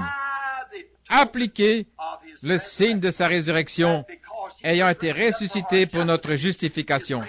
Il nous a aussi ressuscités avec lui. Et maintenant nous sommes assis dans les lieux célestes en Jésus-Christ, unis dans la communion du signe. Tandis que les enfants d'Israël étaient là, et comme un moment dans la rue on poussait des hurlements, ils n'avaient aucun souci à se faire. Seulement, il fallait être bien sûr que le sang, le signe, soit bien visible. C'est la seule chose dont nous ayons à nous soucier aujourd'hui. Il y a de l'orage dans l'air, mes amis, ce ne sera plus très long. Le malheur est en train de frapper, vous le savez. Soyez sûrs que le signe soit bien visible, et le signe est le Saint-Esprit, car d'un seul esprit, nous sommes tous baptisés pour former un seul corps et rendus participants de sa gloire. En route maintenant vers notre demeure, vers la terre promise. L'aimez-vous? Croyez-vous le signe? Combien aimerait dire, oh frère Branham, priez pour moi, que je puisse venir sous ce signe. Inclinons la tête. Seigneur Jésus, le Dieu plein de grâce, alors que le monde était dans le péché et capable de s'en sortir, incapable, Dieu dans sa miséricorde a montré d'avance par un type qu'un signe allait venir qui pourrait ôter le péché non pas seulement le couvrir, mais l'ôter. Et Jésus est venu au moment correct. et il a répandu le sang, sa propre vie, faisant pour nous une expiation pour nos péchés. Et puis, il l'a fait revenir sous la forme du Saint-Esprit, lequel est maintenant un signe qui doit rester avec l'Église jusqu'à ce qu'il revienne. Car l'apôtre Pierre a dit, la promesse est pour vous et pour vos enfants et pour ceux qui sont au loin, en aussi grand nombre que le Seigneur notre Dieu les appellera. Seigneur, par ta grâce et avec ton secours, je réclame chaque personne qui écoute ce message. Je les réclame pour Dieu. Je te prie, Seigneur, pour ceux qui sont ici ce matin et ceux qui écouteront cette bande. Et si quelque part, Seigneur, il y a une semence prédestinée qui entendra la parole de ce dernier jour, puisse-t-il venir maintenant avec douceur et humilité et déposer leur trophée au pied de la croix ou se déposer eux-mêmes comme trophée de la grâce de Dieu qui les a appelés et qu'ils soient remplis du Saint-Esprit pour mettre en évidence le signe de la vie de Jésus-Christ dans sa résurrection aussi longtemps qu'ils demeureront ici sur la terre. Accorde le Seigneur. Ces paroles, Seigneur, il se peut que je ne les ai pas dites comme il faut. Si c'est le cas, je prie que le Saint-Esprit veuille bien prendre ces paroles et les présenter de la façon dont elles devraient l'être, afin que les gens puissent comprendre et savoir sans malice. Fais-leur savoir que l'amour est correctif et qu'ils sachent que cela a été dit à cause de l'heure dans laquelle nous vivons et de la venue imminente du Seigneur, voyant les lumières rouges qui clignotent partout dans le monde, indiquant que le temps est proche. Je prie que les gens reçoivent le Saint-Esprit aujourd'hui même. Je te les remets au nom de Jésus-Christ. Qu'il soit pour nous un signe tant que nous vivrons. C'est ce que tu as promis. Il est donc facile de demander cela parce que tu l'as promis. Et je sais qu'il en sera ainsi. Dans le nom de Jésus, nous prions. Amen. Maintenant, avec la tête inclinée, avec foi en croyant, j'ai prié pour vous du mieux que j'ai pu. J'ai prié en toute sincérité du mieux que je pouvais prier. Regardez, je me rends compte. Vous savez quoi? Ce sont vos dîmes et vos offrandes qui me procurent de quoi vivre. C'est votre support à vous et cette Église que je peux trouver des gens à qui prêcher. C'est votre amour et vos amens et votre communion fraternelle et, vos bonnes paroles partout où vous allez, au milieu de ce monde, dans les différents États de cette nation. Ce sont vos paroles qui aident à propager ce message. C'est vous. Nous sommes associés dans ceci avec Christ. Nous sommes frères et sœurs. Et il est notre roi. Et je vous aime. Je, je, et là où je suis, je veux que vous y soyez aussi. Je parcours tous les pays en voiture, rien que pour vous parler une ou deux fois. Oh, je désire vous voir le dimanche matin, je vous aime, je vous ai toujours aimé. Il arrive que je sois obligé de parler d'une manière très dure, mais ce n'est que pour corriger, vous voyez. C'est parce que je vous aime. Je ne veux pas que vous manquiez le but. Maintenant, en toute douceur et humblement de tout votre cœur et du plus profond de vous-même, acceptez-le simplement et dites, Seigneur Jésus, maintenant même, Prends simplement tout ce qui est en moi et qui n'est pas conforme à toi. Laisse-moi me débarrasser de tout mon orgueil, de tout ce qui est en moi, euh, de tout ce qui est sans valeur, toute mon incrédulité. Je renonce à cela, Seigneur. Je mets tout ça dehors et laisse le doux Saint-Esprit de Dieu, tel une colombe, descendre en moi. Je désire vivre éternellement, Seigneur, et je demande ton secours en ce moment. Accorde-le maintenant. Tandis que vous priez, nous allons fredonner ce cantique, le chanter ensemble, Je l'aime. Et rappelez-vous, cela vient par l'amour, car il est amour. Alors que je tiens mes mains posées sur ces mouchoirs parce que les gens vont peut-être venir les chercher.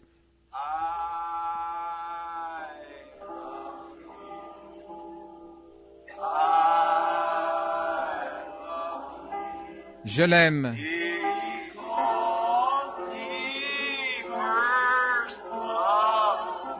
Parce qu'il m'a aimé le premier.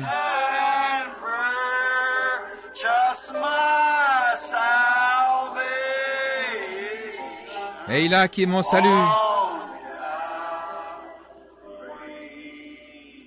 Sur le bois du calvaire. Je l'aime.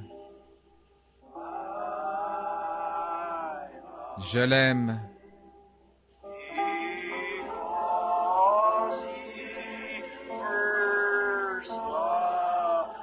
Parce qu'il m'a aimé le premier. Maintenant, abandonnez-lui Abandonnez votre cœur entre ses mains. Et il a acquis mon salut. L'amour, l'amour, l'amour. Voilà ce qu'il a fait pour vous. C'est par l'amour. L'amour amène l'obéissance. L'amour amène à faire la cour. L'amour amène le mariage. C'est là que nous nous dirigeons vers le souper des noces de l'agneau.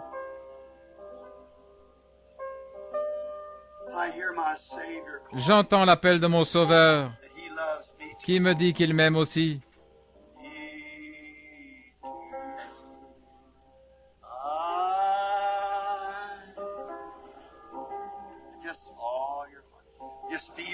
de tout votre cœur et sentez quelque chose en train de pénétrer en vous maintenant tout doucement.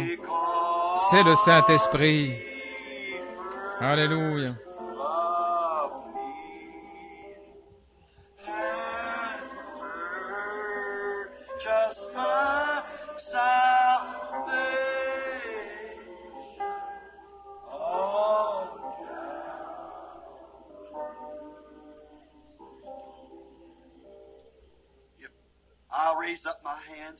Je vais lever ma main avec l'auditoire pendant que la musique nous accompagne.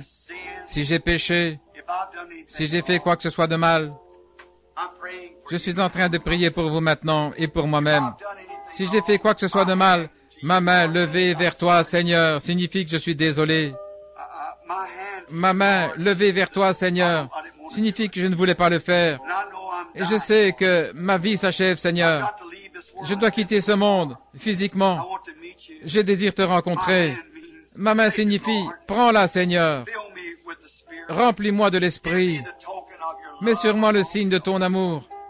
Le Saint-Esprit qui me fera vivre une vie pleine de gentillesse, de douceur, qui me fera vivre la vie qui était en Christ, que mon cœur brûle pour les autres, et que le jour comme la nuit, j'ai de la peine à trouver le repos, cherchant à amener le plus d'âmes possible. Je serai comme les messagers à Jéricho, j'irai vers le plus de personnes possible, pour voir si je peux les amener à venir sous l'alliance du sang, sous le sang de l'agneau, afin qu'elles puissent recevoir le signe.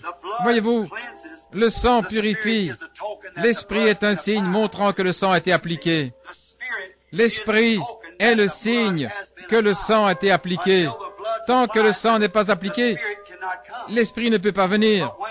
Mais une fois que le sang est appliqué, alors l'esprit est un signe qui vous est renvoyé montrant que votre foi dans le sang a été acceptée, que votre passage est payé. Votre passage est payé. C'est terminé. L'affaire est réglée.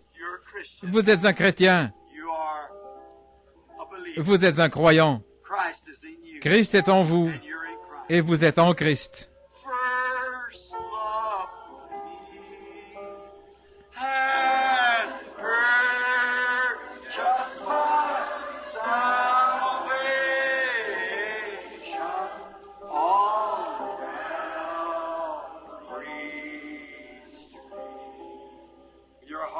Avec vos cœurs inclinés devant Dieu maintenant, je vais laisser à votre pasteur, Frère Naville, le soin de conclure et de dire ce qu'il peut avoir à dire. Rappelez-vous des services de ce soir. Il y aura un service de guérison. Venez tôt. Commençons à 7 heures pour que je puisse être sur l'estrade à 7h30. Est-ce que ça va, frère Neville? Alors nous aurons la communion. Venez. Cet après-midi, continuez à méditer là-dessus. Ne laissez pas ce message s'éloigner de vous.